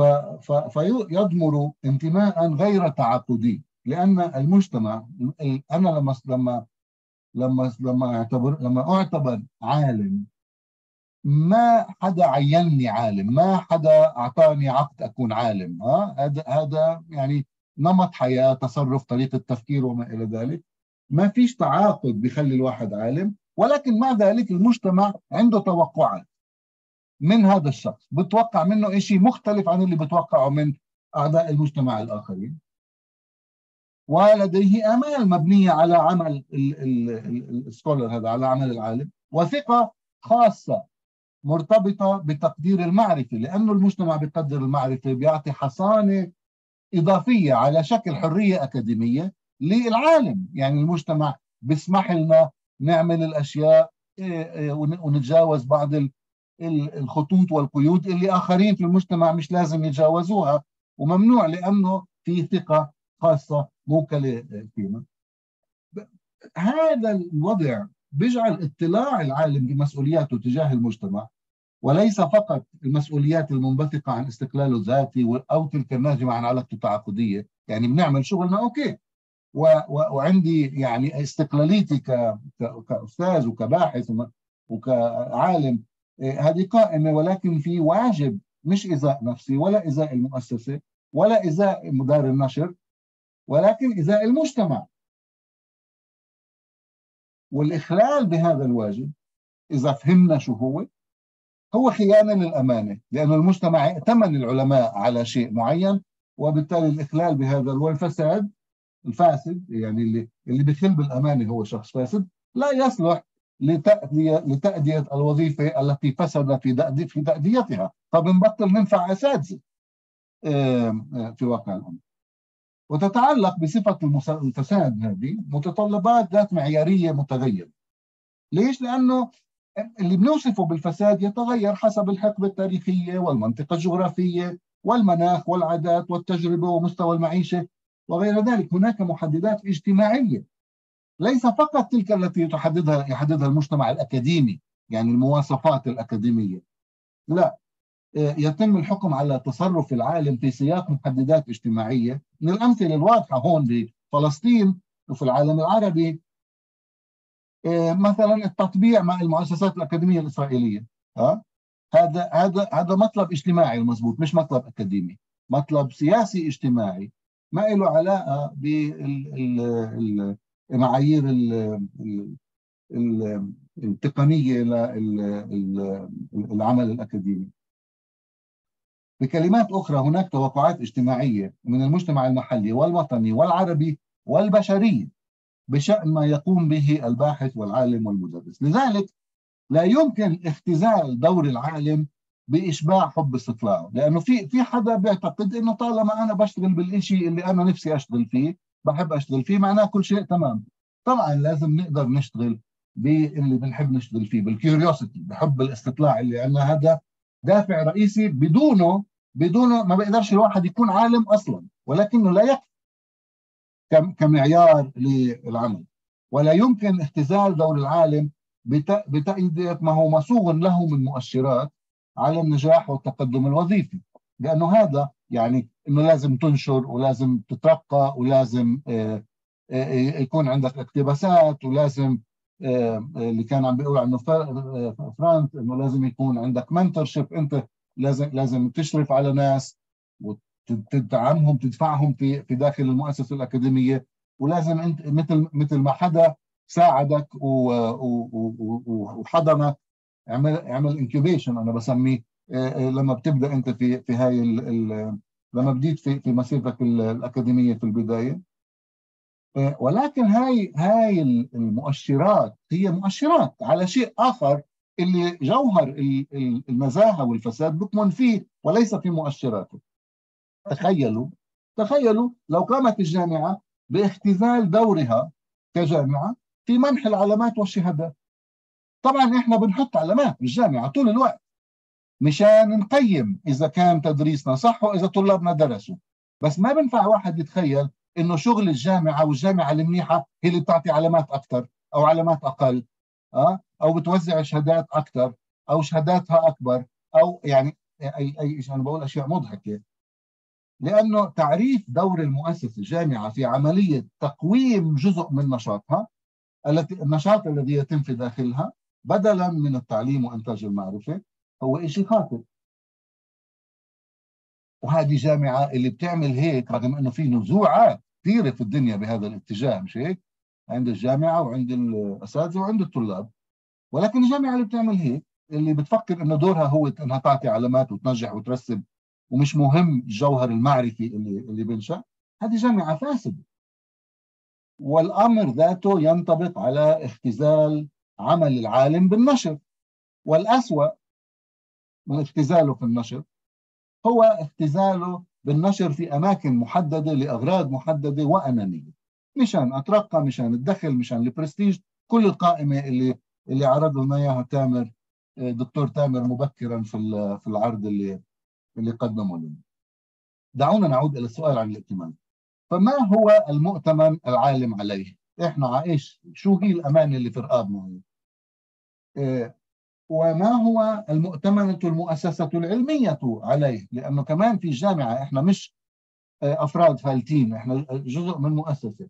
وإلى أي مدى يمكن أن يكون العالم أمينا في مؤسسة غير أمينة؟ والعكس. هل بيقدر تنشأ مؤسسة أمينة من مجموعة أساتذة آه، آه، فاسدين؟ وتجاه من تقع مسؤولية العالم ومسؤولية المؤسسة العلمية؟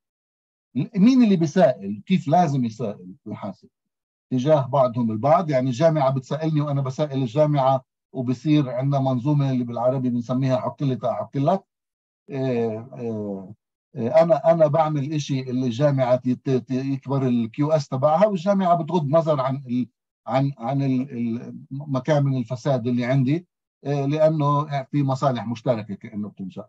ما بزبطش لازم يكون في جهات ثالثة. آه، اللي أنا بعتقد آه، آه، بتروح أبعد من المؤسسة. نحو ما أطلق عليه فرانس المجتمع العلمي ولكن المجتمع أيضا المجتمع أيضا.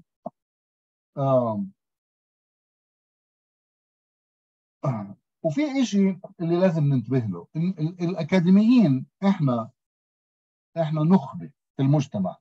وهي النخبة هذه مش مسبة ولكن كمان مش شيء عظيم. آه، هذه المجموعة المنتخبة اللي اللي شغلها العلم والأكاديميا ممكن جدا تدخل في تناقض مصالح بينها وبين المجتمع بينها وبين المجتمع الكبير. ممكن جدا إنه تكون إحنا آه، آه، مصالحنا غير متطابقة بلاش متناقضة غير متطابقة مع الاتجاه العام اللي اللي مجتمعنا أو أو البشرية بدها إياه. وإيش بصير لما بتنشأ هاي التضاربات هل توجد مسؤولية خاصة لما العالم ال scholar اللي, اللي مثل جزء كبير من اللي قاعدين هون يكون مستعمر؟ هذا مثله مثل اللي في ال MIT ولا ال AUB ولا ولا قطر ولا ولا ولا لندن ولا غيره. أنا متأسف عم بطلع على الوجوه وبقول أسامي. بس معلش مش يعني مش مستقصد حدا. هل هل عندي نفس نوع المسؤولية ولا في شيء خاص؟ إضافي أو شيء ناقص؟ أو في أشياء مسموحة لي بصفتي مسكين تحت الاستعمار؟ يعني شوية تساهل أو تلاخي مثلا بصير مع مع العالم هذا. ما هي طبيعة المسؤولية العلمية في الظرف الكولونيالي؟ في دول الجنوب عامة في الدول الأفقر اللي ما عندهاش موارد للبحث العلمي اللي ما عندهاش متسع من الوقت للبحث العلمي. وفي حالة العمليات التحررية. وهل الحرية الأكاديمية مشروطة بالوفاء؟ هل هل هل حريتنا إحنا بنضل نطالب بحريتنا ما تقربوش علينا. الحرم الجامعي لا ي... له حرمته ممنوع حدا يقرب عليه وإحنا مصرين على ذلك. ولكن هل هاي الحرمة اللي إحنا مصرين عليها ولازم نصر عليها مشروطة بنمط أداء معين عندنا أخلاق نوع مستوى ثريشولد يعني عتبة عتبة أخلاقية تليق بنوع ال ال ال الحصانة اللي موجودة عند الأكاديميين الحصانة اللي موجودة عند المؤسسة الأكاديمية. ولا لا؟ هل نحن جديرين بلغة بالآخر؟ هل نحن جديرين؟ وماذا يجب أن نفعل لكي نكون جديرين بالثقة التي يمنحنا إياها المجتمع كعلماء فضلت أن أعرض كل هذه الأسئلة ليس لأني أنوي الإجابة عليها بأي شكل تفصيلي. أنتم فاهمين هذه أسئلة كثير وطويلة. ولكن لأني أعتقد أن المجتمع العلمي يمر مؤخرا بأزمة تتعلق بجدارته بالثقة من جهة وأخرى أزمة أخرى تتعلق بدوره في تلبية توقعات مجتمع مش بس لأنه مش قادر يلبيها. لأنه بتطلع باتجاه ثاني أحيانا. ولكن لأنه المجتمع ما عرفتش ألاقي المصطلح بدي أستعمل مصطلح عمري ما سمعته بأمل يكون مش غلط. بأمل إنه ما إنه ما في حدا خبير قوي باللغة العربية هون يقول لي بخبص. بس سميته مجتمع يتخضرم بمعنى مجتمع توقعاته تتبدل مجتمع توقعاته قيد التغيير وهي هلامية لأنه هو ينتظر بزوغ فجر عصر جديد. إحنا إحنا في مرحلة على مش إحنا على باب عالم جديد باب حقبة جديدة في التاريخ الأزمة كبيرة النيوليبرالية في إجماع على الأقل بين الاقتصاديين إنه النيوليبرالية كمنظومة قيد الانهيار. ما حدا بيعرف ولكن شو اللي بده يحل محلها؟ والمجتمع بفلسطين فاهم إنه إحنا ما بنقدرش نستمر في العيش تحت الاحتلال تماما ولكن ما حدا عنده فكرة كيف سنخلص من هذا الاحتلال. يعني سنة ال 75 أنا كانوا كل أصحابي يشرحوا لي كيف بدنا نخلص منه. اليوم ما في حدا بيقدر يشرح لك. مجتمع تراجع في معرفته على ما يبدو لأهدافه وتصوراته عن تحقيقها وما إلى ذلك. هذا المجتمع بتوقع من العلماء ولكن توقعاته مرات بتصير زي كأنه مطلوب منا نصير سحرة وهذا غير ممكن. ولما نخيب أمل المجتمع وإحنا عم بنخيب أمله في واقع الأمر مشان هيك سمعة الاكاديميا والجامعة هذا مش بس بفلسطين تتراجع مش هيك؟ لأنه الأزمات البشرية كبيرة والعلماء غير قادرين على إنهم يقدموها جزئيا ربما لأنهم مشتغلين في إنهم ينشروا مثلا لأغراض الترقية وليس لأغراض حل أزمات البشرية. الاتجاه السائد اليوم خليني احكي عن جامعة بيرزيت يعني على وجه التحديد استعملها كمثال. يفترض أن الطبيعية للجامعة ومن هم فيها هو الانضمام بل الارتقاء. إذا بتسمع الديسكورس الخطاب المستخدم الارتقاء إلى الاتجاهات والتوجهات والقيم الأكاديمية العالمية. نحو العالمية في إحنا بدنا نصير عالمية. ما إلى ذلك. بيد أن هذه التوجهات العالمية اللي إحنا بنطمح نصير منها تعلن من على المنبر الأكاديمي أن العالم ليس واحدا. ما فيش شيء واحد عالمي. آه؟ مش بس. وأن هناك ثنائيات منبثقة عن الواقع الكولونيالي الذي قسم العالم إلى شمال وجنوب غني وفقير شرقي وغربي قادر ونامي دول دول, دول ال OECD والباقي متمكن ومحتاج إلى التمكين. إحنا بدنا empowerment في حدا empowered وهكذا ويأخذ الانقسام في داخل المنظومة العلمية اللي بتبع هذا الانقسام الكولونيالي اشكالا متنوعة فتارة يساهم العلم في التفوق العسكري من أجل محو منجزات منجزات بشرية بس بشرية أخرى في دولة أخرى. طبعا إذا استثنينا مشاريع الحرب النووية اللي بتدمر العالم كله يعني علي وعلى أعدائي بس يعني كمان العلم بيعملها. وتارة أخرى تأخذ الثنائيات شكل عرض عنصري بثوب ليبرالي للعالم مثل صراع الحضارات. ها اللي اذا اذا إذا حدا آه، يعني بتطلعوا بهيك بأول صفحة من هانتنجتون بتشوفوا العنصرية بتشروت من النص ها إنه الناس مختلفين لأنه جيناتهم مختلفة. في الصينيين مختلفين عن الباقيين. وتارة أخرى تأخذ شكل عرض انحياز أيديولوجي مثل القول بنهاية التاريخ تبع فوكوياما إذا بتتذكروا. وتأخذ أحيانا منحى الدعم التقني واللوجستي للسياسات العنصرية ولسياسات الأبارتهايد ولعمليات المراقبة والتحكم. surveillance شوفوا إسرائيل. بتفكروا التطور التكنولوجي اللي بيصير بإسرائيل؟ الأكاديمية الإسرائيلية يعني ما خصهاش فيه ولا إنه الأكاديمية الإسرائيلية مش جزء من العالمية اللي بدنا نوصلها. مش الإسرائيلية لحالها بالمناسبة يعني. هذا إسرائيل هي نموذج صارخ ولكن ال ال الشيء هذا موجود. وبسبب وجود اتجاهات قمعيه قربت اخلص وبسبب وجود اتجاهات قمعيه بس تقمعنيش أنت غير أخلاقية. ضمن ما يعرف بالاتجاهات العالمية فإن على الساعين إلى التحرر اللي مثلنا يعني شعوبنا والحرية عدم الانجرار وراء هذا النوع من. هذا الجانب من العالمية. بل وقفها وشق الطرق المتجهة نحو الحرية. ولكن هناك مخاطر في مشروع مواجهة الاتجاه الاستعماري. إحنا إحنا هذه الأفكار موجودة عندنا. كل زملاء كل زملائي اللي أنا بعرفهم يعني بوضوح بيشتغلوا ضد ضد هذا الشيء الاستعماري. بس بتصور في بعض المشاكل.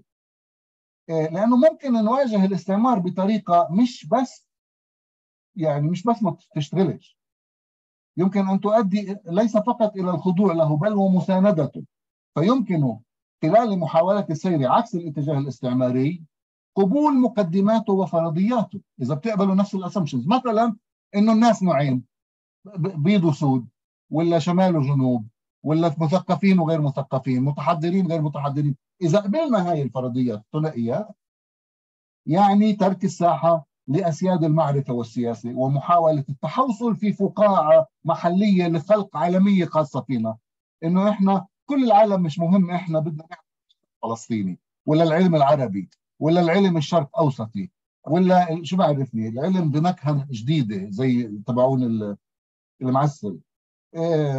لا تتحدى الثنائيات الاستعمارية بل تسعى إلى مضاهاتها واستنساخها بشكل مصغر وفي بابل في فقاعة في مكان ما في جامعة ما آه، آه، هنا أو هناك. واللافت في هذه الاتجاهات التي تجد غالبا في الخصوصية والاختلاف والتفرد نصف الكأس المليء يعني مبسوطين على الخصوصية.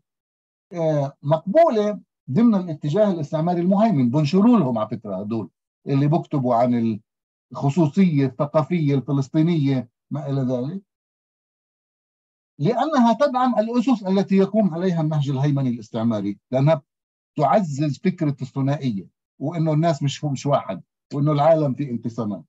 بل تضمن له شرعية مضافة وترسخه وتوسع استخدام منهجيته بعد إعادة إنتاجها باغلفه جنوبية وقوالب محلية، أما المأمول فهو لفظ الثنائيات الاستعمارية والمساهمة في وحدة المعرفة البشرية وشحذ أهدافها بما يضمن عدم التخلي عن القيم الأخلاقية المتجسدة. في العدالة والإنسانية والحق. يعني بيقدر واحد يعمل لسته طويلة بس أنا بفكر هدول الثلاثة بيوفوا بالغرض. وبدلا من التخلي عن العالمية وبدلا من الانصياع لثنائياتها الاستعمارية يجب العمل على جعلها فعلا عالمية. يعني حسب ما والرستاين بيقول يخلي ال universal يصير عن جد universal. ويتطلب ذلك خلق البدائل وإنتاج المعرفة وفق مقاييس حاجات المجتمع وليس وفق النمط السائد الذي يخدم منظومة الهيمنة والاستعلاء. أي أن ما نحتاجه هو الاشتباك مشان استعير عبارة شهيرة لشاب فلسطيني استشهد من كم سنة. الاشتباك مع المنظومة القائمة وليس الهروب منها إلى فقاعات موضعية محلية أو إثنية أو قومية أو ما شابه. ولا قرع الأبواب تبعت العالمية لدخولها. بتعرفوا في نقطة متأسف بدي 10 ثواني زيادة أقول لكم نقطة جيجيك. بيقول بالزمانات كان الدنيا the West and the rest بعدين العالم صار قرية واحدة. بس كل العالم اللي كان برا ال West صار واقف على الباب بدق وبستنى يدخلوه. كأنه برا هذا العالم. ولا قرع الأبواب لدخولها إنما يحدد عملية علمية ومكانة المنتج المعرفي. هو اولا منطقه وسلامته المنهجية وموضوعيته وثانيا جدواه وفائدته الاجتماعية. وليس مساهمته في ترسيخ التشوهات المعرفية الضرورية لتبرير التفوق والعنصرية والاستعمار اللي هم بالمناسبة ال H-index وما يشبه ذلك. فما ينتجه الفلسطينيون مثلا يشكل انتاجا معرفيا ذا مكانه إذا كان له مكان في مشروع الحرية. إذا بفيد معناه ممتاز معناه له مكان. وليس في التخفيف من وطأة العبودية. مش نجمل الوضع السيء اللي إحنا عايشين فيه ونقول خلينا مثلا بس يفتحوا لنا جسر ساعتين زيادة ولا يعطونا بطاقة تمرقني على الحاجز بسرعة بدون دور مثلا ولا شيء من هذا النوع. إن الأوعية العلمية التي تدفعنا المنظومة نحو النشر فيها والمنظومة على فكرة مش بس بير زيت أنا عم بحكي عن مثل أنتم بتعرفوه بس المنظومة اللي اللي اللي عرضوها منيح دكتور تامر ودكتور فرانس. تقبل في الغالب الواقع الراهن للعالم على أنه طبيعي هذا العالم اللي فيه مستعمر ومستعمر بيشوفوه عادي. وبيحكوا عنه وبحللوه إلى ذلك. وتقيم إنتاجنا من منظور جدارتنا بالدخول بالدخول في هذه الطبيعية. اللي اسمها الحضارة. ولكننا بصفتنا المتضررين المباشرين من النظام السائد إحنا بفلسطين هيك متضررين بوضوح بدهاش يعني تحليل الشغلة. علينا قلب المعادلة وفحص جدارة الأوعية اللي بدنا ننشر فيها. مش هم بيشوفوا إحنا جديرين بالنشر ولا لأ. إحنا اللي لازم نفحص جدارة الوعاء المجلة اللي بننشر فيها من منظور مساهمتها في مشروع الحرية والمساواة والعدالة وإحقاق الحق. نعمل بعدين ندوة ثانية عن هذا كيف نقدر كيف نفحص هاي الجدارة. شكرا أنا متأسف. ما مش كثير طولت أنا مصطفى. لا بس ربع ساعة. لا يعني مش مشكلة. طيب. آه شكرا لكم جميعا. آه إذا في حدا بحب يشارك في مداخلات آه مباشرة بالصوت والصورة فيش مشكلة. اذا في حدا كمان بحب يرسل أسئلة. آه في كمان الدكتور آه طلال آه بحب اضيف بعض المداخلات. الدكتور طلال هو نائب الرئيس للشؤون الأكاديمية وهو الآن أو قريبا رئيس الجامعة. إلا خمس دقائق إلا خمس دقائق فهو كمان معني وناشط في هذه القضايا. تفضل دكتور طلال.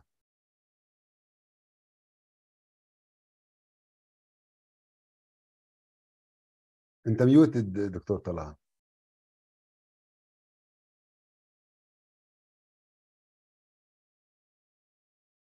دكتور طلال أنت عليك mute أنت أنت معطي الناس حرية يفتحوا ال mute ويسكروه آه, آه. مساء الخير. بالضبط آه هذه هي إنه ما كانش عندي حرية أعمل unmute آه هذا مشان هيك عبد عثمان آه في في كان تقييد تقني. آه. طيب مساء الخير يعطيكم العافية وشكرا على الندوة الثرية. شكرا لها الدكتور تامر السيد دكتور فرانس دكتور مضر على المداخلات الهامة والقيمة واللي بتورجي إنه ليش الندوات البرزيتية لازم نضل مستمرين فيها. في الواقع في عندي تعقيب من ثلاث محاور. يعني مش بالضرورة إنه يطال كل ما ذكر ولكن بحب أبلش بمقولة لباشلر الفيلسوف الفرنسي اللي بيقول إنه العقل العلمي يتنكر دائما لما ينجزه من حيث دأبه على نقده وتصويبه. فموضوع الاقتباسات ومعامل اتش وكل وسائل القياسات اللي بيتم استخدامها طبعا ممكن إحنا نناقش أهميتها. ولكن آه، ما يجب أن نتفق عليه هو في كونها ليست هي عوامل التقييم الحصرية. آه، بخلاف ذلك طبعا إحنا آه، بنوصل لمستوى يمكن وصفه ربما بالعبودية البحثية. يعني بنعرف كلنا إنه شو الهدف من العلم إنتاج ليش ننتج المعرفة؟ ممكن نقول بجملة عامة لأجل الحقيقة والصالح العام للبشرية. ولكن عندما يصبح إنتاج المعرفة هدفه هو الأرقام فعندها آه، آه، يمكن استخدام توصيف آه، العبودية البحثية أو شيء قريب منه. يعني إحنا مش لازم يغيب عن ذهننا إنه البشرية زاد عددها بوتيرة هائلة بخلال آخر 100 سنة. يمكن مع بداية القرن الماضي كان عدد البشر مليار أو مليار وشوي. حاليا قطعوا يمكن وصلوا 8 مليار فهاي الزيادة دفعت باتجاه آه، طبعا استثمارات كثير كبيرة في التكنولوجيا التكنولوجيا الصناعية والزراعية وغيرها. آه، ومع الأسف آه، الوسائل التكنولوجية تم إنتاجها بوتيرة تتخطى كثير القدرة على بلورة حكمة الاستخدام لهذه الوسائل. فصف عنا آه، آه، العديد من التحديات والمصائب ممكن نحكي الصحية والبيئية آه، والاجتماعية وغيرها. وصلنا لمستويات مهولة من التلوث في الماء وفي الهواء وفي التراب الاتزان الأيكولوجي اتأثر والعوائل الطبيعية طبعا للكائنات الموجودة في الكوكب مثل الميكروبات والفيروسات. آه، آه، تم تدميرها وإحنا بشبعات طبعا عن تجربة كورونا اللي خضناها. فهي كلها لا يمكن آه، إغفال المشاكل في تعريفنا للعلم وللتكنولوجيا ودورها في داخل المجتمع والحضارة الإنسانية. طبعا الربط هذا لازم دائما يكون موجود في ذهننا. القضية الثانية اللي سريعا بحب أحكي عنها هي موضوع النشر المفتوح. يعني النشر المفتوح فيه له عدة منطلقات. تعرفوا في كان النشر التقليدي اللي المكتبات آه، هي بتدفع تكلفة الاشتراك في دور النشر آه، ولكن في آخر عقد من الزمان أو ما يقاربه صار في شيء اسمه open access يعني النشر المتاح الوصول أو النشر المفتوح. اللي صفى فيه اللي بيدفع تكلفة النشر هو الباحث اللي بده ينشر. بدل ما كان القارئ في الأول طبعا المكتبات بالنيابة عن القراء آه، كانت تدفع. صفى اللي بده ينشر هو اللي آه، اللي بدفع. وهاي فتحت الباب لممارسات سلبية كثيرة. ولكن آه، يجب التأكيد بأنه من ليس من الصواب أنه نربط النشر المفتوح كليا بالممارسات السلبية بشكل متلازم. يعني مش كل paper بتنتشر في open access journal هي بالضرورة بدها تكون ممارسة سلبية. آه، في كثير من المجلات المرموقة اللي آه، بتنشر ضمن نموذج النشر المفتوح وفي كثير من الممولين اللي أصبحوا يشترطوا إنه النشر يتم في أوعية متاحة الوصول. فهذا الموضوع لازم ننتبه له. آه، حاليا طبعا آه، لو نشوف المنشورات الصادرة من فلسطين يمكن 40% أو أكثر حتى آه، صفت تنشر بنموذج النشر مفتوح وفي العالم النسبة يمكن قريبة في المتوسط من بين 30 ل 35% حسب آخر إحصائية قرأتها. والموضوع الثالث إنه أو النقطة الثالثة هي إنه النشر العلمي حاليا بمر بتغيرات جوهرية. يعني مع دخول الذكاء الاصطناعي على الخط آه، موضوع إنه نصنف المجلات Q1 و Q2 وغيرها. عمال يعاد النظر فيه. موضوع ال impact factor كيف نعرفه. آه، يعاد النظر فيها. طبعا أكاديمية العلوم الصينية آه، قادت جهد بهذا الاتجاه. وطرحت مجموعة من التساؤلات اللي بتتعلق ب ما الذي يمكن أن يجعل مجلة أو وعاء بين قوسين آه، نشر آه، موضع تساؤل؟ ف آه، اصبحوا يستخدموا الذكاء الاصطناعي ومؤخرا طبعا Web of Science سحبت يمكن 50 ولا 55 مجلة أسقطت ال impact factor عنها كنتيجة للتقييم اللي بيكون فيه الذكاء الاصطناعي وحسب ما ورد في أكثر من 500 مجلة حاليا قيد التقييم. فالمعايير هي بطلت بس شو عدد الاقتباسات اللي المجلة أو اللي الأوراق المنشورة في المجلة بتحصل عليها هي المحدد لل impact factor. في مراجعة لهذا الموضوع. حاليا في عندكم عدد المقالات اللي بتنشرها المجلة فهذا مش في صالح المجلة. إذا كانت تنشر عدد مقالات كثير كبير في فترة زمنية قصيرة. في عندكم مثلا معدلات الرفض في المجلة. يعني المجلات اللي فيها معدلات رفض منخفضة بنحط عليها علامة سؤال في بعض المجلات معدلات الرفض بتوصل 95% فيها. في عندكم برضه رسوم النشر اللي هي اللي بيدفعوها المؤلفين مشان ينشروا. article processing charges بسموها. فكل مر برضه هذا المبالغ اللي بيتم دفعها ممكن إنه يتم ربطها برضه مع مستوى المجلات هذه ودرجات خلينا نحكي الممارسات السلبية اللي بتتبعها. في الاقتباسات الذاتية اللي بتم نشر اللي للمقالات اللي بتم نشرها في نفس المجلة. يعني في مجلات هذا مش خفي إنه بعض المحررين لما بتبعث paper ف مرات الحكام ولا المحررين ممكن يوجهوا المؤلفين إنهم يعملوا اقتباسات من مجلة من مقالات ناشرتها نفس المجلة.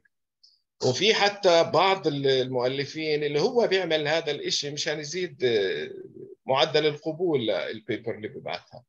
في عندكم ال retraction برضه صفه مشكلة كثير كبيرة. في موقع اسمه Retraction Watch اللي باستمرار برصد ال papers اللي بيتم سحبها. ففي عندكم تزايد كبير في سحب ال papers في آخر فترة. وهذا بيشير طبعا لوجود مشاكل في مش بس في المحتوى لل papers وإنما في جودة الإجراءات التحريرية اللي المجلة بتتبعها. درجة التدويل مثلا عمالهم بتطلعوا عليها وبيشوفوا التنوع الجغرافي للمؤلفين. يعني كل ما كان في تنوع جغرافي للمؤلفين أكبر كل ما كان في اعتراف أفضل بالمجلة حول العالم. فهاي بعض التغيرات اللي عمالها بتصير مع الذكاء الاصطناعي العملية الأكاديمية من ناحية الإجراء في داخل الصف من ناحية التقييم تقييم مستوى الطلاب وبالإضافة إلى ذلك طبعا عملية النشر العلمي كلها حاليا تخضع للكثير من التساؤلات والكثير من الاستفسارات. وممكن نقول إنه الذكاء الاصطناعي بباغت في البشرية بأكثر من جانب النشر العلمي هو أحد. وشكرا أتمنى أن أكون ما اطلت آه شكرا دكتور طلال. آه في كمان كان الدكتور دكتور عادل رافع ايده بس آه في إس كي. السلام عليكم. آه دكتور تفضل. يعطيكم العافية مشكورين على الندوة وموضوع مميز جدا. في مجال تعرف بنفسك دكتور. الله يخليك.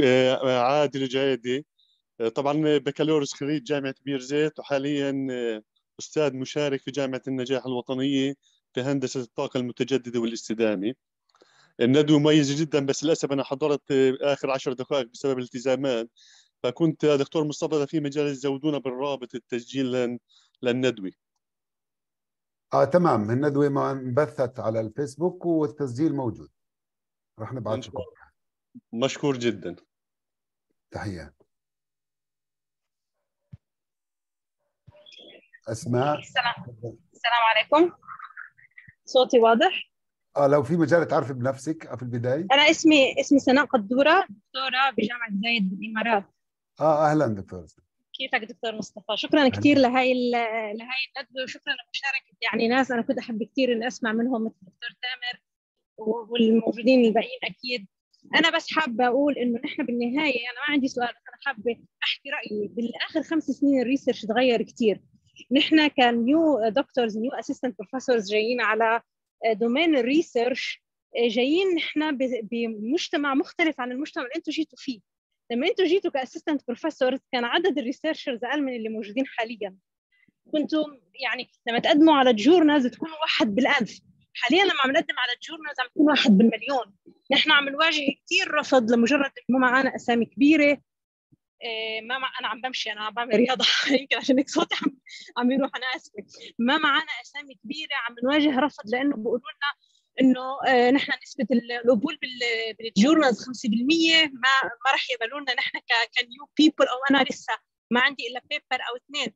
فانتم كدوركم كأشخاص صرتوا professors هاي الندوة لازم مش تتوجه لنا كاشخاص أنا بتخيل هذا الشيء لازم يكون فيه أخذ قرار على مستوى جورنالز على مستوى مؤسسات على مستوى أنتم تعملوا لنا جورنالز يكون فيها هاي المعايير اللي إحنا بنتمنى تكون موجودة نقدر نقدم عليها. ولما تشوفوا أنتم جودة عمل كويسة بس عمليته سناء قدوره بعتذر سناء قدوره لوحدها تقبلوه لأنه جودة العمل كويسة مش لأنه سناء ما معاها آه، فلان أو فلان أو فلان.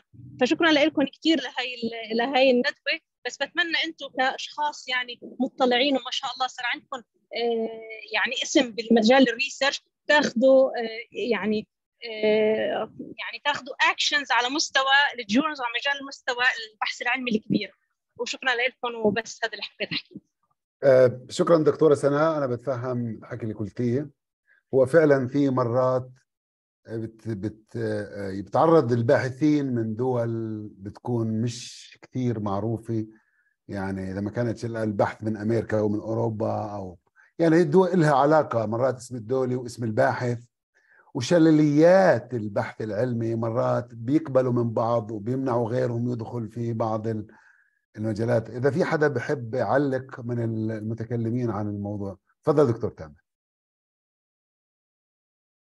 السلام عليكم ورحمة الله وبركاته. آه، شكرا دكتور سناء على على المداخلة. أنا الحقيقة يعني ما أعرفش يمكن في computer science الوضع يمكن إلى حد ما في اختلاف شوية يمكن عن عن ال fields الثانية بس إحنا في computer science في في في في المؤتمرات في حاجة اسمها double blind review يعني الشخص اللي بيعمل review مش عارف المؤلفين أسماء المؤلفين متشالة. وطبعا المؤلف أو الباحث مش عارف طبعا أسماء المحكمين فدي حاجة مهمة جدا لأن زي ما حضرتك بتقولي كده ساعات بيبقى في بايس لو أنا شايف آه، جامعة آه، مثلا ستانفورد فأنا أقول لا ده شغل أكيد يعني شغل رائع. يعني قبل ما هشوفه يعني نسبة القبول بتاعتي 95% إنما لو شايف من جامعات تانية هقول لا. لكن لو أنا مش عارف أصلا مين المؤلفين المفروض إن الموضوع هيبقى فير أكتر. فأنا الحقيقة مش عارف أنا أنا أنا كشخص بتساءل برضه آه، بقالي سنين بتساءل. هو ليه ال journals ما فيهاش double blind ما فيهاش ما فيهاش الموضوع ده. conferences كتيرة جدا على الأقل في المجال بتاعنا في computer science double blind طبعا في single blind ودي دي مش مش كويسة طبعا لكن double blind دي very fair أو إلى حد ما fair طبعا في بعض ال ال في ال administration بيعرفوا مين المؤلف ولكن على الأقل ال reviewers ما بيعرفوش فانا الحقيقة مش عارف. أنا بتساءل معاكي ليه الحل البسيط ده مش موجود في المجلات؟ أنا مش قادر بصراحه افهم افهم لغاية دلوقتي. المفروض ده يتعمل الحقيقة يعني بما انه كمان الدكتوره سناء هي في مجال ال computer science وفي ال natural language يعني ممكن انه تتوجه في البداية ل للمؤتمرات. تنشر في المؤتمرات تعمل اسم بعدين تنتقلي للمجلات يمكن. طيب آه في كمان مداخلات معنا آه أحمد صباح. مساء الخير جميعا. يعطيكم العافية. بحب أعرف عن نفسي أنا أحمد صباح طالب دكتوراه في جامعة بير زيت في برنامج علم الحاسوب. آه، بحب أتشكركم جدا على هاي المعلومات القيمة اللي قدمتوها جميعا. آه، بس دكتور إحنا كطلاب دكتوراه صراحة إحنا هون صرنا بشوية احترنا بزيادة لأنه من أين نقرأ وأين ننشر؟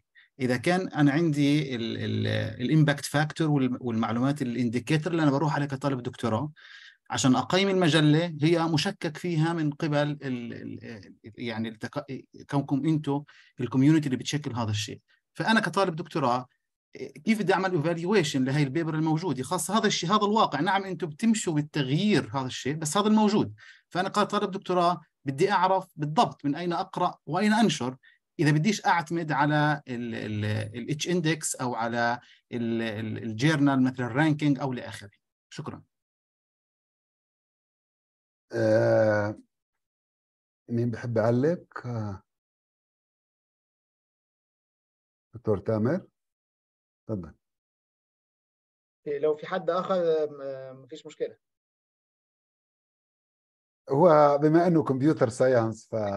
فممكن أنت ترد. هو بقول لك ما دام في فوضى كبيرة في ال... وأنتم قاعدين بتشككوا في الارقام في الناس اللي عندهم أرقام كبيرة. نعمل إيه طيب؟ نروح نروح فين؟ نعمل إيه؟ نروح فين؟ لا آه لا طبعا. آه شوف أنا يعني اقتراحي إن أنت تدور على الم... على ال... أنت لو بتتكلم على journals أو conferences الاتنين حاجة يعني لحد ما واحدة. ولو إن ال conferences يمكن أسهل شوية الوضع أو يعني أكثر شفافية. انت تشوف ال ال ال ال الأوعية النشر publication venues اللي هي المتخصصة في مجالك. ما تروحش ليه اللي هي ال multidisciplinary اللي هي very open journals في الأول. روح للمتخصصة في مجالك. وما تعتمدش بس على Q 1 Q 2 في مجالات كتير قوي Q 1 Q 2 الحقيقة يعني عليها علامات استفهام كبيرة. روح للمجالات المتخصصة في مجالك.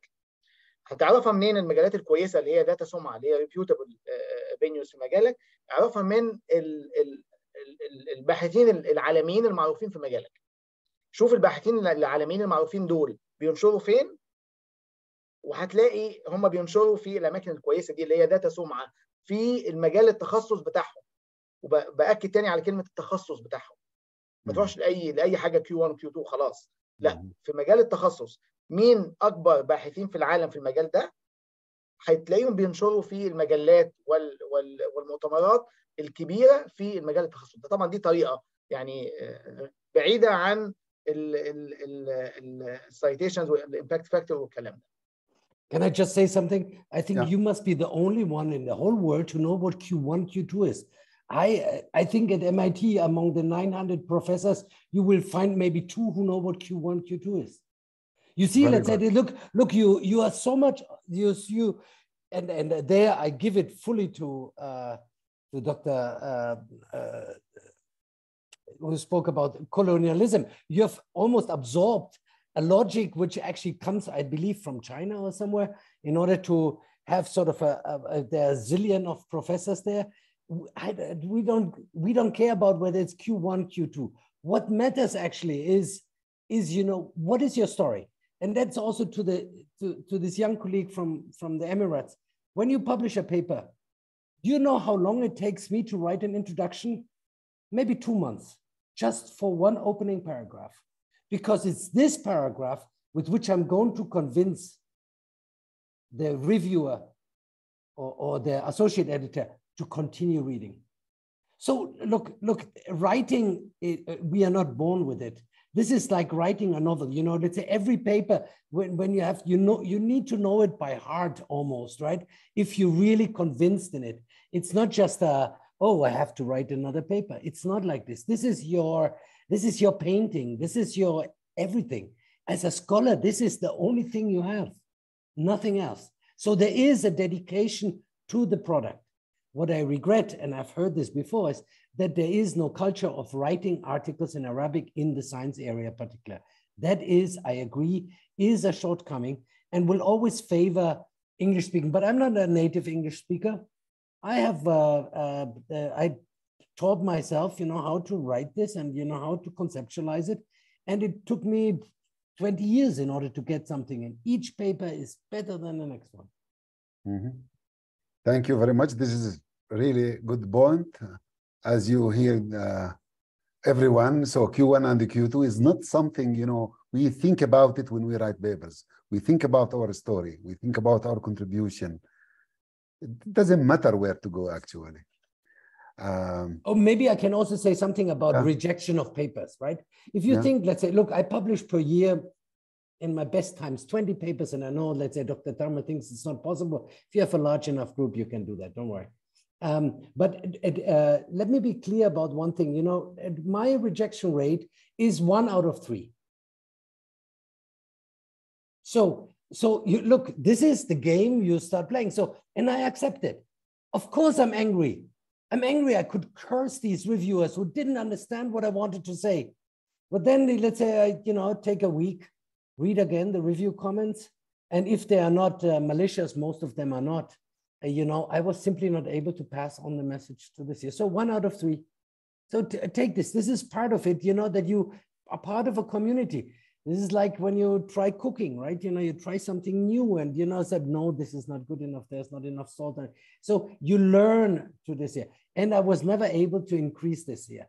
What does that tell you, this refusal rate? It, remi- it, it reminds you actually, first of all, if it's a good, if it's a review, someone has taken the time to review your work.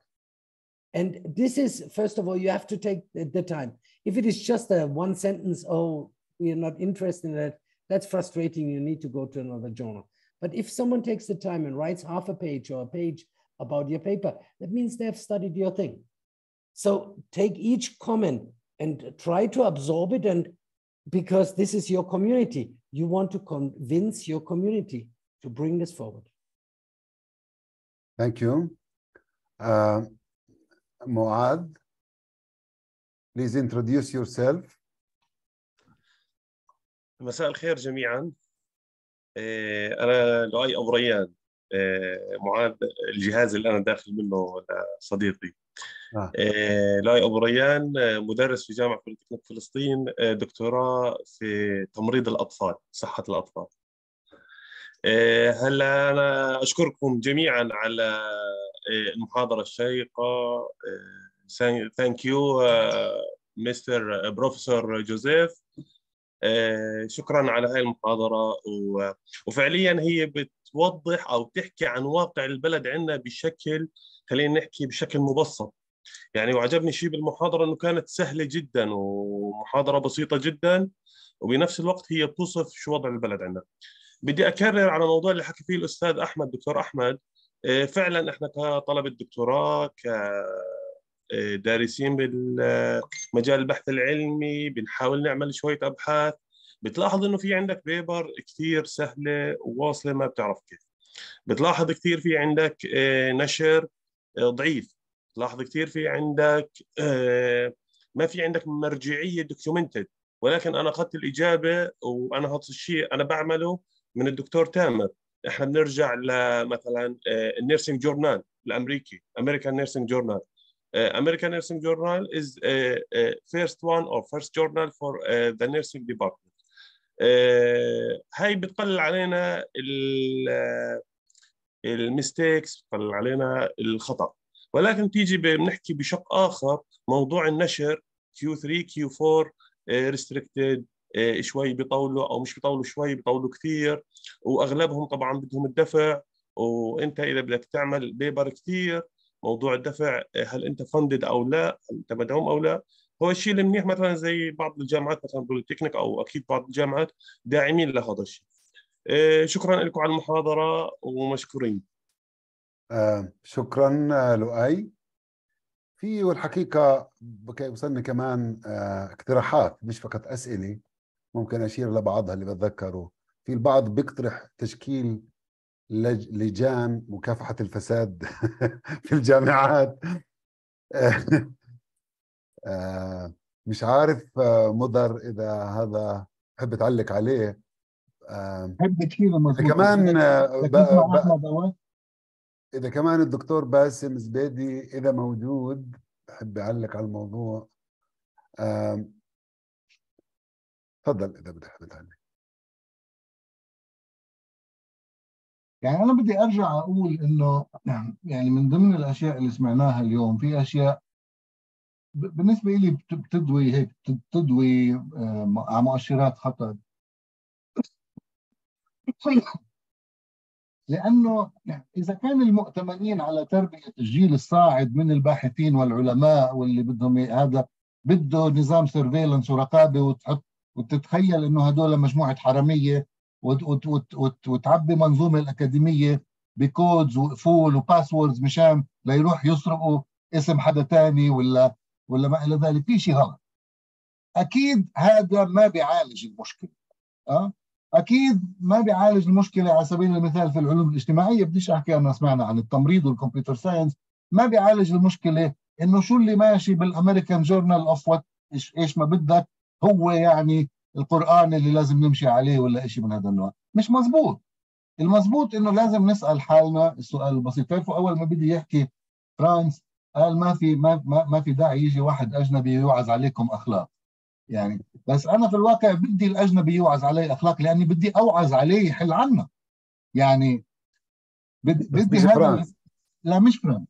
بس بس بدي أقول له أنت اتركوا الوصاية علينا. يعني لازم يكون في حوار. أنا ضد إنه يكون في عالمين. الأجانب في عالمهم والعرب في عالمهم والأفارقة في عالمهم. هذا خطير. خطير لأنه المعرفة العلمية فعلا عالمية. والعالمية بتعني إنه أنا لازم يكون لي الحق إني أتدخل في المجلة اللي بتصدر في أمريكا والمجلة اللي بتصدر في, الصين وما إلى ذلك. آه، أنا أنا زي اللي لاحظت وكأنه إحنا مش قابلين فكرة بسيطة. الحكم على قدرتنا على اقناع مجلة أو محرر في نشر المقالة هي ما بتعكس بتاتا جوهر شغلنا العلمي ما بتعكس إذا موضوع اهتمامنا مهم ولا لا ما بتعكس إذا يعني تامر جاوب سناء عن عن ال blind peer review مزبوط ال blind peer review بيوصلك لمرحلة يعني أنت فيها بتحس بشوية عدالة. بمعنى إنه إذا بده يقول لك لا بده يقول لك ليش. ها غالبا إذا بيحترم حاله. في بيقول لك لا بدون ما يقول لك ليش. أو آه بدون ما يقرأ. يعني كله بيصير. بس في عندك ال rejection اللي بيجي من المحرر أو من المحرر المشارك اللي اللي بيعمل screening وهذا اللي بيصير على الأسامي وهذا اللي بيصير على الدول أه؟ مش صدفة. مش صدفة إنه أنت بتاخذ موضوع مثلا زي إيش بدي أقول لك؟ دراسات الشرق الأوسط. أنا ما, ما عنديش أرقام بس تاخذ لك مجلة دراسات شرق أوسط اسمها هيك على سبيل المثال وبتلاقي إنه 85% من اللي منشور فيها مكتوب في بريطانيا وأمريكا. يعني طب والشرق الأوسط نفسه مش عارف يكتب عن الشرق الأوسط يعني؟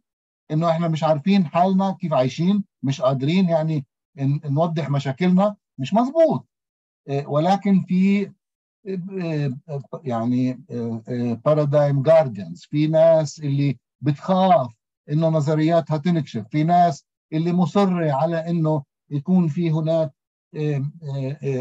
الخروج عن ال paradigm اللي دارج نتفه صغيرة. أنا بتصور بال computer science أنتم ما بتعانوا من هذا الشيء بس انتبهوا انه في العالم العربي البحث العلمي المختبر الكبير هو العلوم الاجتماعية مش العلوم الطبيعية ولا الهندسة. ورغم ذلك ورغم ذلك ما زالت بالعلوم ال hardcore sciences وال engineering ما زالت العينين على أمريكا رغم إنه الناشر الأول في هاي المجالات هي الصين 21% من إجمالي المنشورات. وإحنا لسه ما قدرناش نعمل النقله جزئيا بسبب سيطرة الشيء اللي بنسميه ال Anglo-Saxon tradition اللي بيعرف إنجليزي بيوصل العالم واللي بيعرفش إنجليزي بيوصلش العالم. ها أه؟ مع إنه المعرفة مش مرتبطة بس بالإنجليزي يعني وما إلى ذلك. فلازم إحنا ندور على حلول من نوعين إذا اسمحوا لي بس أقول شو اللي بفكر فيه. أنا فلسطيني عايش هون أمقت الاحتلال وأعتقد إنه لازم يكون لي الحرية أروح على القدس وقت ما بدي. بعيده عندي عني 14 كيلو آه وما أقدرش أوصلها. ولكن إذا بدي أروح على القدس مضطر أطلب تصريح من سلطات الاحتلال مضطر أوقف على الحاجز ومضطر أطلع هويتي لجندي جاي مش عارف من أوكرانيا ولا من إثيوبيا ولا ما بتعرفش من وين. بده يقرر إذا مسموح لي أنا أروح على على على القدس ولا ممنوع أروح على القدس. بقدر أرفض هاي الممارسة. واضلني قاعد بالبيت. وبقدر اناضل ضد هذا الاستعمار ولكن طالما هو موجود بدي أخضع لهي الشروط. يعني في اليوم شروط للنشر. لازم يعني إذا ما فيش خيارات لازم لازم مثل ما قلنا بشكل ذكي نستعملها ونجرب نتجاوز بعض القيود والعوائق ونلاقي الحلول والطرق وما إلى ذلك. بس ما بصيرش إنه إحنا نجر نكون كل استراتيجيتنا تكمن في تجاوز العقبات والشغل بتعرفوا ثقوب الجبنة يعني كيف الواحد بيتخيلها. بدون ما نبدأ نحط استراتيجية لبناء عالم جديد. لبناء عالم النشر فيه بتم بطرق أخرى. لبناء عالم الخيار فيه له علاقة بالمحتوى وليس بالشكل. له علاقة بالبحث العلمي نفسه وليس بتسويقه. هذه لازم نبدأ نطلع على على على حلول لها. اطلت أنا. شكرا. آه شكرا دكتور مضر. الدكتور أحمد أبو هنية عميد الدراسات العليا والأبحاث. تفضل. السلام عليكم يعطيكم العافية وشكرا للزملاء على مداخلاتهم الرائعة وعلى المعلومات القيمة اللي أعطونا إياها. الدكتور تامر بتشرفنا فيك دكتورنا. الدكتور فرانس طبعا صديقنا وأخونا. والدكتور مضر زميلنا وصديقنا. ما بدي أطيل عليكم. يعني بس يعني نكشني مضر في كلمة ذكرها مش هذا اللي كنت بدي أحكي فيه أنا بس اللي هو لما بحكي إنه أنتم في المواضيع العلمية والهندسية ما بتواجهوا مشكلة مع العنصرية لا بنواجه.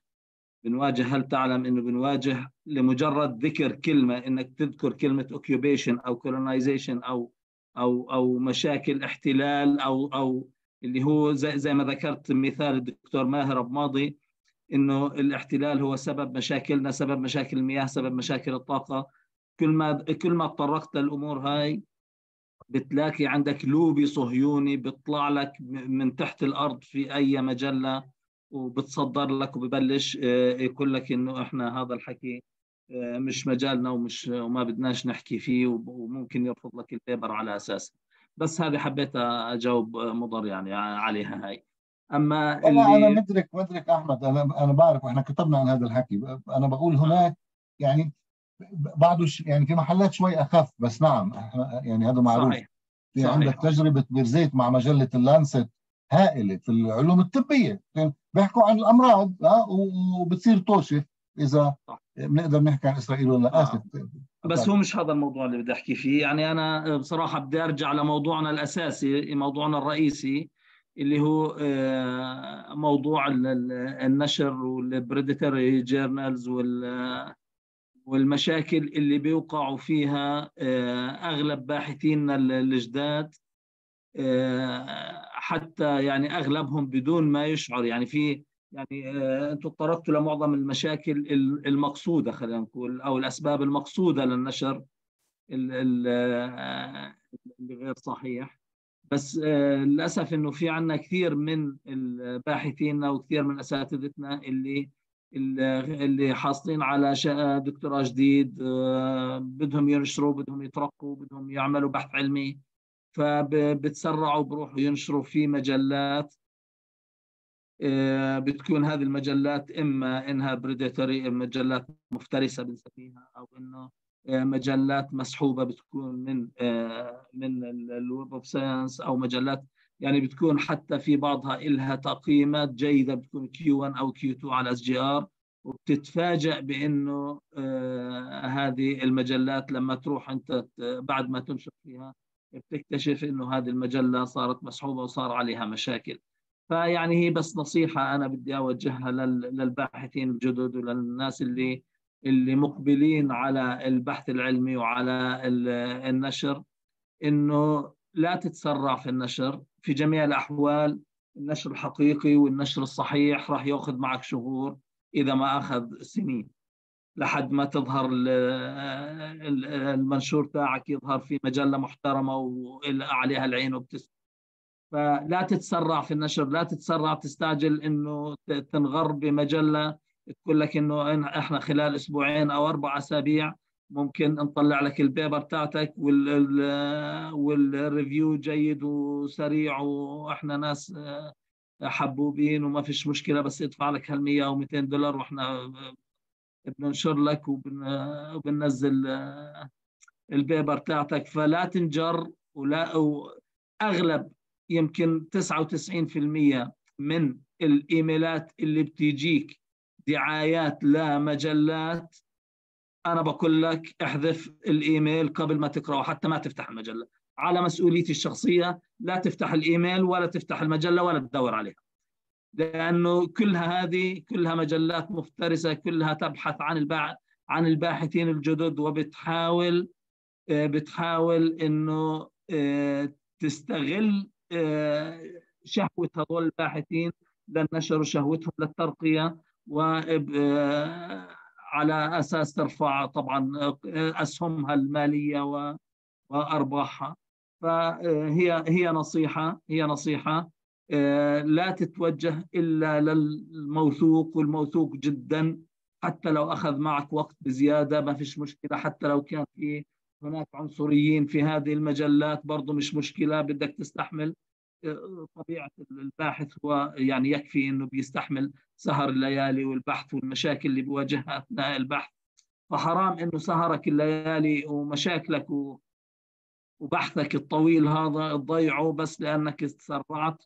في موضوع النشر ويعني تأكد إنه مشكلتك إنه حلك نشرت البيبر أنت راحت عليك يعني خلص انتهى ما بتقدر تنشرها مرة ثانية ممنوع تبعتها لمحل لمكان آخر.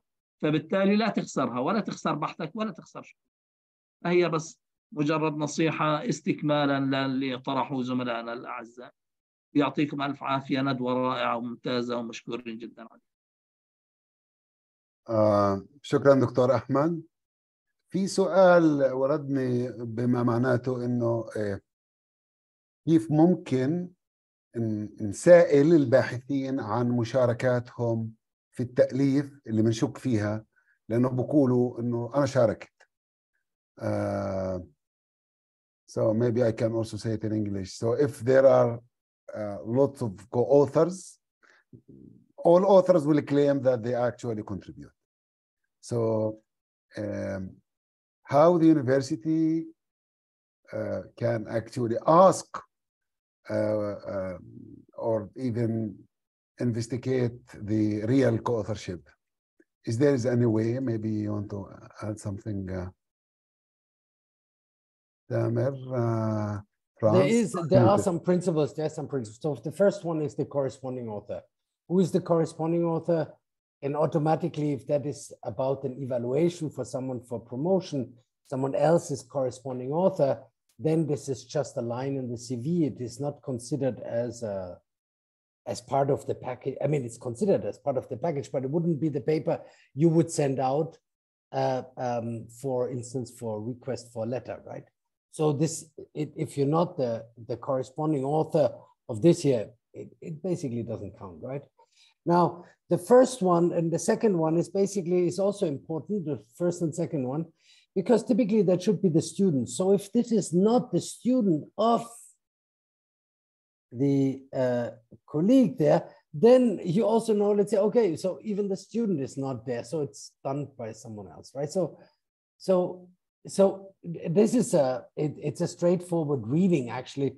You know, what is the role of a paper? So if someone is number seven in 10, in, among 10 authors, and you know there's not even and the student number one is not from Priset University, then you can be sure that this is a paper which, okay, you know, you got to it a little bit like the virgin to the to the child, right? So.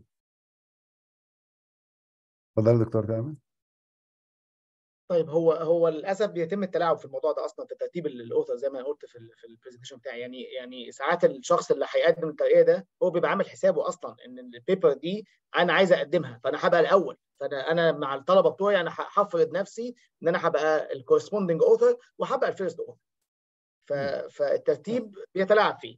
فاللي إحنا ممكن نعمله إن إن إحنا نشوف هل ال ال الشخص ده له أصلا يعني history في ال area دي ولا لا؟ ال area اللي عامل فيها ال paper دي. هل هو فعلا عنده background البحثي المناسب الملائم للموضوع ده ولا لا؟ آه، ثانيا في حاجة برضو تانية بتتعمل في بعض الجامعات إن بيطلب presentation من ال من ال ال الشخص اللي مقدم على الترقية على على الأبحاث اللي هو بيقول إن هي جزء من من ال application بتاعه عشان ويتناقش فيها. عشان يتشاف هل هو فعلا aware بال بال بال بال بالشغل اللي معمول في البحث ده ولا لأ. دي حاجة.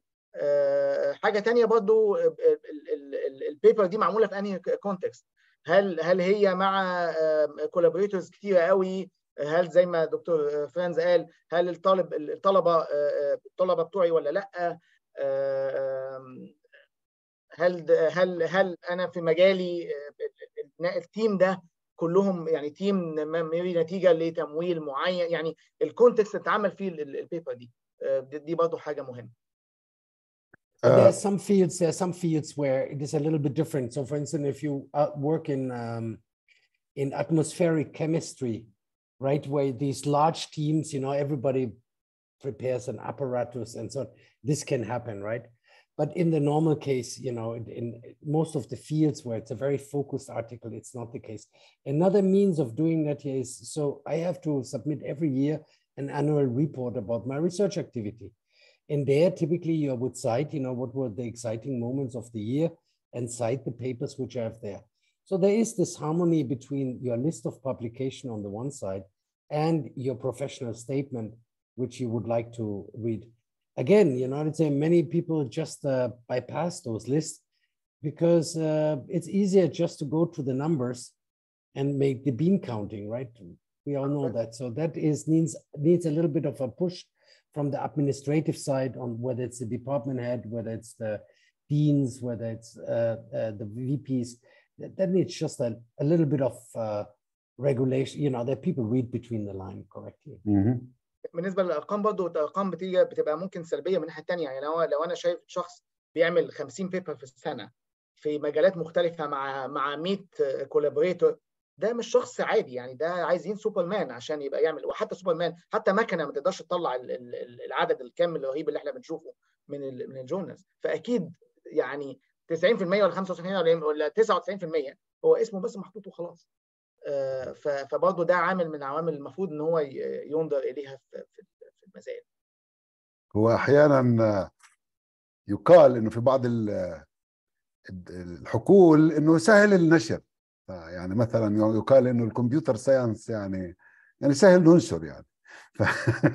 أنا بك- بحب أقول إنه يعني journal Q 1 بدنا نشتغل سنتين عشان تنحضر البحث. ويمكن سنة سنتين بس نكتب وننشر.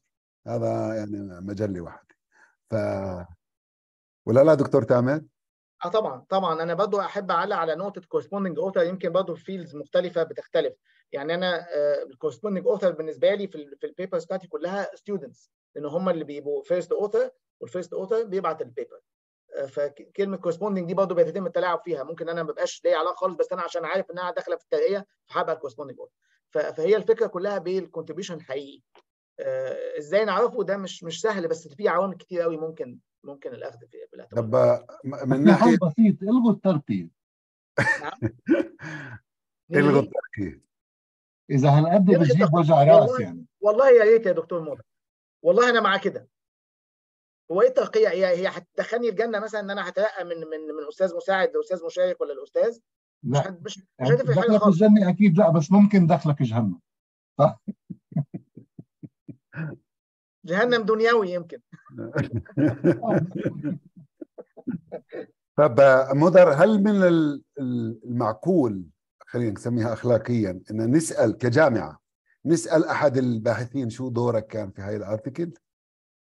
طبعا بس ما بدك بدك منظومة تتسع لهذا الشيء يعني في نظامين بالدنيا أو مش نظامين بس يعني في نمطين آه، اللي إحنا عندنا بالجامعة هو النمط الثاني مش اللي بيحكي عنه تامر لما أنت بتعمل presentation يعني الترقية أنت بتروح تعرض حالك بتقدم ملفك تعرض حالك في performance كامل. تعمله تقعد مع أنت بتقعد مع اللجنة تعرض اللي عندك بيسألوك بتجاوب وبتشوف آه، إلى أي مدى ممكن أنت تكون ناشر أشياء في مجلات آم، يعني مغمورة أو مجلات جديدة. أنا مثلا بحب أشجع مجلات جديدة آه ولكن منظومة الجامعة انها بتعاقبك عليها بمعنى إنه ما بتحسب لكش اياها بس أنا بدي أشجع مجموعة باحثين قرروا يعملوا مجلة الترناتيف راديكاليه شوي يسارية شوي آه، مؤيدة للفلسطينيين شوي. بحب أنشر فيها. بس النظام عندك بيقول لك إنه قبل ثلاث سنين هذه ما بتدخلش أصلا بال فمين هم الفدائيين اللي بدهم ينشروا؟ أنا بعتقد إنه لازم تقدر تنشر بمي... وين ما بدك حسب ال readership اللي أنت بتدور عليها وحسب الحقل اللي أنت بتكتب فيه. آه، مرات بالتخصص الدقيق ومرات في حدا مثلي بدور على ال interdisciplinarity بشجع ال interdisciplinarity وبده يروح هناك. ولكن لازم أنت تقدر تقول هاي المقال الجديد فيها ما يلي وال ال- ميزتها ما يلي هيو وبتفرجي النص وبتفرجي الشغل وبتفرجي المقارنة وبتفرجي ردود الفعل. بس بده يكون عندك متسع تعمل هذا العرض. هذا ما يتعلق بالترقيه بس مرة أخرى. يعني هذا السعي نحو الترقيه وال- أو عالم ال publish or perish اللي خلى كل الناس موجودين تحت هذا ال- ال- ال- ال poster هو جزء من منظومة أثبتت إيه، إنه مساوئها أكثر من فوائدها. يعني مش إحنا مش بحاجة نفحص إنه التحولات اللي صارت في الجامعات بآخر 30 سنة ماشية بالاتجاه اللي خلى الجامعات أقل جدارة بالثقة مما كانت عليه في السبعينات والثمانينات. فلازم نوقف ونتفرج مش نضلنا نظبط بالمعايير والعيارات تبعت المنظومة اللي اللي اعتبرناها. مش نضل ندور على coefficients بدنا معادلة جديدة ربما. طيب آه في آه آه. اظني طلال بده يعترض. آه. دكتور طلال؟ مرحبا. إيه، آخر شيء بدي أبلش اللي حكاه مضر إنه مين الفدائيين اللي بدهم ينشروا بالمجلات اللي مصنفة Q 4 وغيرها؟ هم اللي زيك يعني اللي وصلوا لرتبة أستاذ بيقدر ينشر وين ما بده بعدها. فزي ما شفت انت المنظومة هي بتفرض زي ما حكيت قبل شوي بالمثل اللي حكيته عن ال check points وغيرها. فالمنظومة بتفرض مسار معين. هلا بمجرد ما انت تخطيت آخر محطة وصار في عندك المجال إنك تنقد وتنشر في مجلات اللي مصنفه Q 4 ولا حتى مش مصنف يعني سيبك بال Q في مجلات باللغة العربية إنتاج المعرفة وغيرها. فانت عندك الحرية ممكن تنشر. بالنسبة لموضوع تقييم الباحثين فهذا موضوع طبعا معقد ما له وصفه جاهزة ولكن يعني لما تطلع على الممارسات اللي موجودة في العالم ضروري جدا إنه يكون في خط بحثي واضح ومستقل إلى حد ما للباحث. ممكن برضه يلعب دور طبيعة الحقل البحثي وكثافة النشر فيه يعني في حقول اللي صعب جدا الواحد ينشر فيها paper بينما في حقول ثانية اللي النشر بيكون أيسر وأسهل. مكان الباحث بين المؤلفين مهم. يعني بتذكر أنا شفت وعدد المؤلفين طبعا. شفت paper عن أتوقع ال Higgs bosons قبل كم سنة. كان فيها أكثر من 5000 مؤلف لهاي البيبر ف يعني ما في خلينا نحكي وصفه جاهزة. ف بدناش ننسى إنه البشرية برضه هي بتتعلم من تجاربها. يعني بدنا نكون نقديين نعم. ولكن في مواضيع اللي المفروض بدنا نتصالح فيها على أم نتصالح معها على أمل تطويرها والوصول لما أفضل منها لما هو أفضل منها. وقضية أخرى مرتبطة برضه بالترقيات اللي هو إنه بصير في خلط بين الكمي والنوعي. يعني لما بتكون الجامعات محددة عدد معين للنقاط فمش معناها إنه بمجرد ما وصل الباحث لعدد النقاط بتصير الترقية تلقائية. في الجامعات طبعا الوصول لعدد النقاط هذا هو بيأهل الباحث إنه يتم دراسة ملفه. يعني هو خطوة كمية وتقييم نوعي combination من التنتين هو اللي بيتم عادة من أجل الترقية. شكرا. شكرا دكتور طلال. دكتور أحمد بس في كمان الدكتور باسم زبيدي بس مش عارف يعمل mute شكله لحاله. unmute. عملت له أنا mute. أحكي ولا استنى باسم ليدبر حاله. تفضل دكتور أحمد. طيب يعني أنا بديش أتكاتل. أنا ومضر بس واضح إنه بدك. برجع برجع بقول للباحثين الجدد لا ترد كثير على مضر. يعني مضر بيطبق القاعدة اللي بتقول إنه الشبعان بفت للجوعان فت بطيء. ف يعني ال... إحنا بعد ما وصلنا آخر ترقية زي ما تفضل دكتور طلال ما بتفرقش معنا يعني ننشر ب Q 4 أو حتى بدون Q أو في مؤتمرات أو في أو حتى نوقف على على منصة ونقرأ ال paper على الناس وهي هينا نشرنا بحثنا بنكون إحنا عملنا اللي علينا.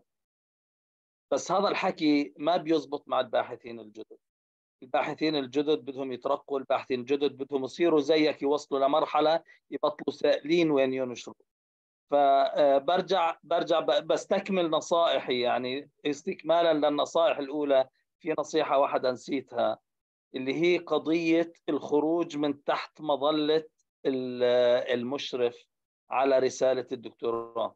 يعني هي الخروج من تحت مظلة مشرف رسالة الدكتوراه لا يعني إنك تفصل نفسك عنه أو إنه خلص تبطل تتعامل معه. لا بالعكس لازم تضل أنت على تواصل معه وتضل تشتغل معه.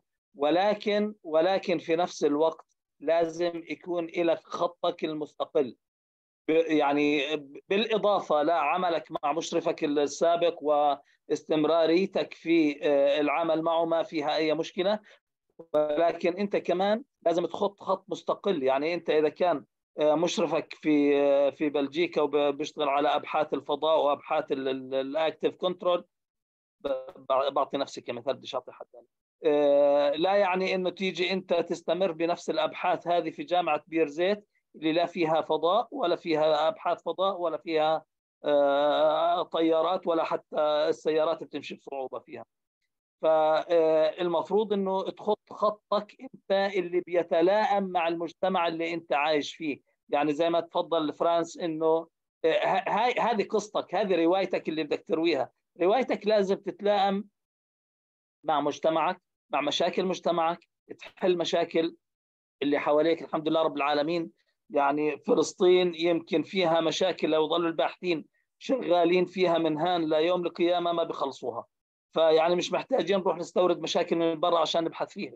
كمان فيعني ممكن إنك تخط خط جديد وضروري جدا إنك تخط خط جديد في بحثك وهذا راح يساعدك. مش بس في الترقية راح يساعدك في إنه أنت تخلق مجموعتك البحثية اللي تنطلق من خلالها وتكون باحث مرموق أو عالم بمعنى عالم حقيقي. شكرا. شكرا دكتور أحمد. دكتور باسم موجود؟ باسم مش هون مش هون. آه مش هون. آه طيب أنا بحب كمان أذكر آه النقطة اللي حكاها الدكتور أحمد أبو هني في الآخر إنه صحيح أنت فكر لا في ال Q 1 ولا في Q 4 ولا في Q إلى آخره. آه Q infinity فكر في ما يحتاجه مجتمعك. ما يحتاجه مجتمعك. ال research priorities research problems اللي بدك تحلها. حاول تتناول. طبعا هذا بجوز ما بينطبق على جميع التخصصات. تختلف تتداخل. ولكن ممكن الإنسان يطوع تخصصه سواء كان في الهندسة المدنية ولا في الهندسة الميكانيكية ولا في ال computer science غير غير ال research problems أو غير تخصصه إنجاز التعبير بما يتناسب مع أولويات الأولويات الوطنية باسم رجع مصطفى. باسم رجع بس. آه باسم أنت ممكن تعمل انميوت مش عارف. عمل آه. آه. أوكي مرحبا. آه تحياتي كيف الحال؟ تحياتي. أنا من زمان بدنا مش عارفين آه شكرا شكرا للثلاث مداخلات لطيفة ومهمة وضرورية وبرأيي المفروض تكون بداية يعني جهد منظم ولأنه مهمة هذه. كل كل القضايا اللي سمعتها بتمس عمليا ما يدور بذهن جميعنا بهذا بهذا المجال مجال الاكاديميا مجال الأبحاث مجال الدراسة مجال المسؤولية مجال الفضول. يعني بنحكي عن موضوع يعني بظن صعب إنه إنه نلاقي حد ما له علاقة فيه. بخطر ببالي يعني لفهم العنوان العريض لهذا الموضوع. يعني ضرورة بذل جهد أعمق شوي مفاهيم الصحيح.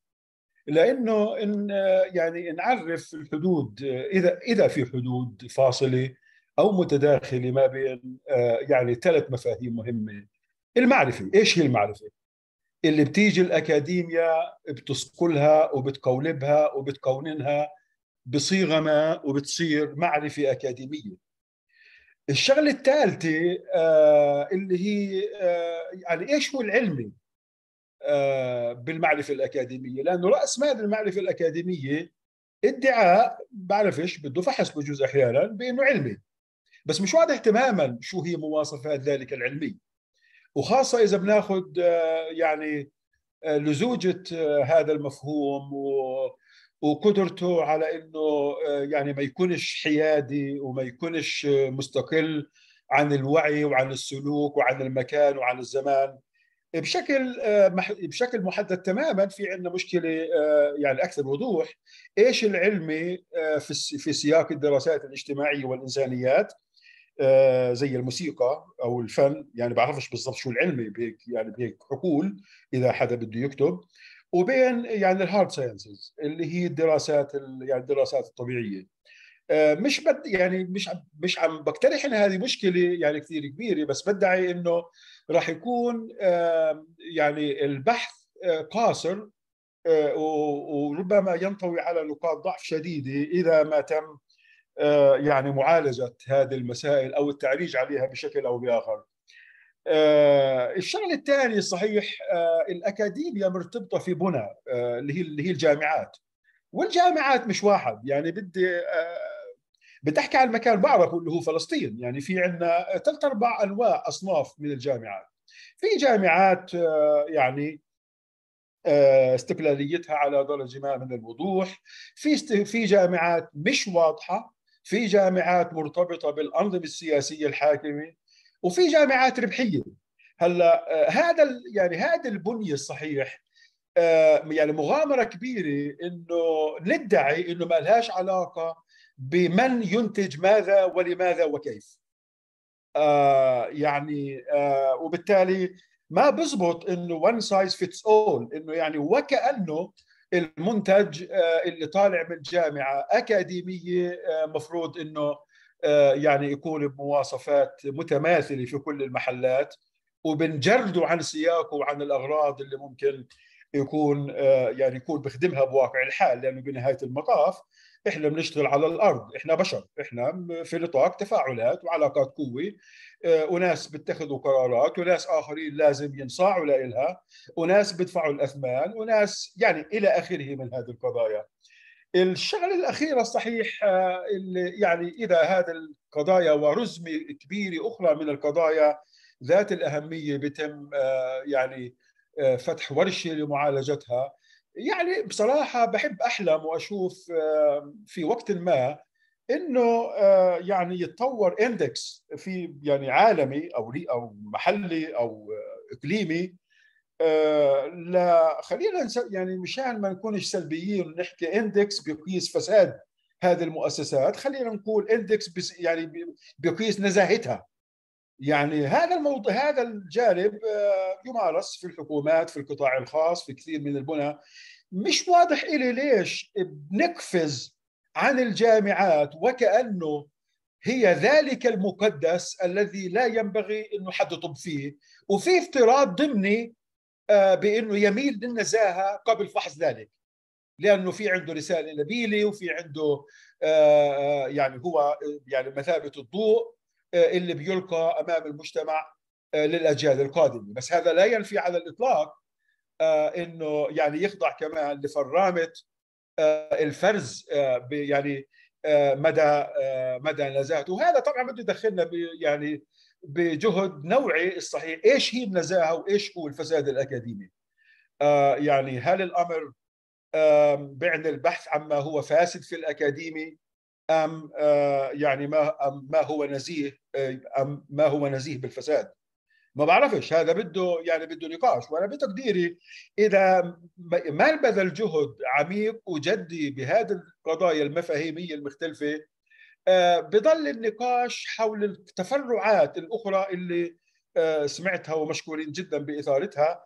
أعتقد بتضل شوية ناقصة إلا إذا وضعت بهذا السياق لكي يتم توصيف بشكل دقيق يعني عملية البحث وعملية إنتاج هذه هذه المجهودات اللي بتشق طريقها وبتصير مقالات وكتب والى آخره وبالتالي يحاكم الأفراد على أساسها وتصنف الجامعات على أساسها. الأمر كثير مهم وكثير يعني كثير بنبنى عليه قضايا جدية بالقدر اللي ما بتعفينا من إنه نلاقي بالفعل نوع من يعني المعالجات لهذه القضايا اللي أثرتها وشكرا مصطفى وشكرا للجميع. آه شكرا باسم على هذه المداخلة المهمة اللي أعطت كمان بعد تأسيسي لل ل... آه... لإيش الفساد؟ هو في أسئلة كثيرة الحقيقة تتعلق في الموضوع آه بس الساعة الآن تسعة ونص يعني صرنا ساعتين ونص إحنا. وأنا خايف أطرح الأسئلة اللي بنطرح بس نأمل إنه في سياقات أخرى يعني كمان نتطرق لقضايا ثانية بتتعلق ب الأمان العلمية أو النزاهة أو الفساد أو ناس بسموها الأخلاقيات. بس أعتقد مضر بيعني بالأخلاقيات شيء ثاني نحب نسميها الانتجريتي مش الاثكس بتاعت الباحثين. آه، في كثير تحديات لا شك يعني آه، تحديات على مستوى الجامعات على مستوى الحكومي خاصة إذا بتكون الحكومات ضعيفة في الوطن العربي وكمان على مستوى الأساتذة. آه، سواء كانت على المستوى التربوي أو المستوى البحثي البحث العلمي كمان قصد قصد التدريس والبحث في قضايا لها علاقة بال بال بال بالنزاهة والفساد. الحقيقة موضوع في غاية الأهمية. أنا بحب أشكر اللي حضروا اللي حضروا على فكرة يعني كان في حضور عالي جدا سواء كان على زوم أو على الفيسبوك. وصل لأرقام كبيرة. بحب أشكر اللي ضلوا معانا اللي ضلوا معانا عدد كبير سواء لا زال على الفيسبوك أو على الزوم. هذا بيدل على يعني أهمية الموضوع. وشكرا لمكتب نائب رئيس الشؤون الأكاديمية على كمان هذه الندوة والعميد الدراسات العليا اللي كمان هو بالحقيقة هو اقترح أن نعمل هذه الندوة. أنا بعتقد أنها ظاهرة لأنه كان في حدا بيقول لي هل تنظيم هذه الندوة هو ظاهرة أنه في مشكلة ولا أن إحنا بخير؟ يعني مجرد أن نناقشها معناته إحنا بخير. آه بالحقيقة مش عارف. ولكن يعني في حاجة آه بس على الأقل بدي أقول إنه إنه إشي كويس إنه إحنا في جامعة بيرزيت نكون سباقين في مناقشة هذا الموضوع آه علنا.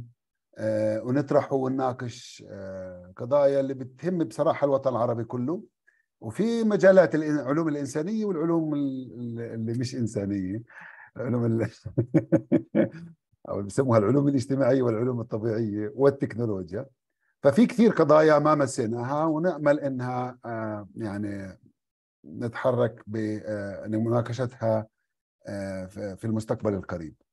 شكرا لجميع الحضور وتصبحون على خير وعلى وطن. شكرا جميعا.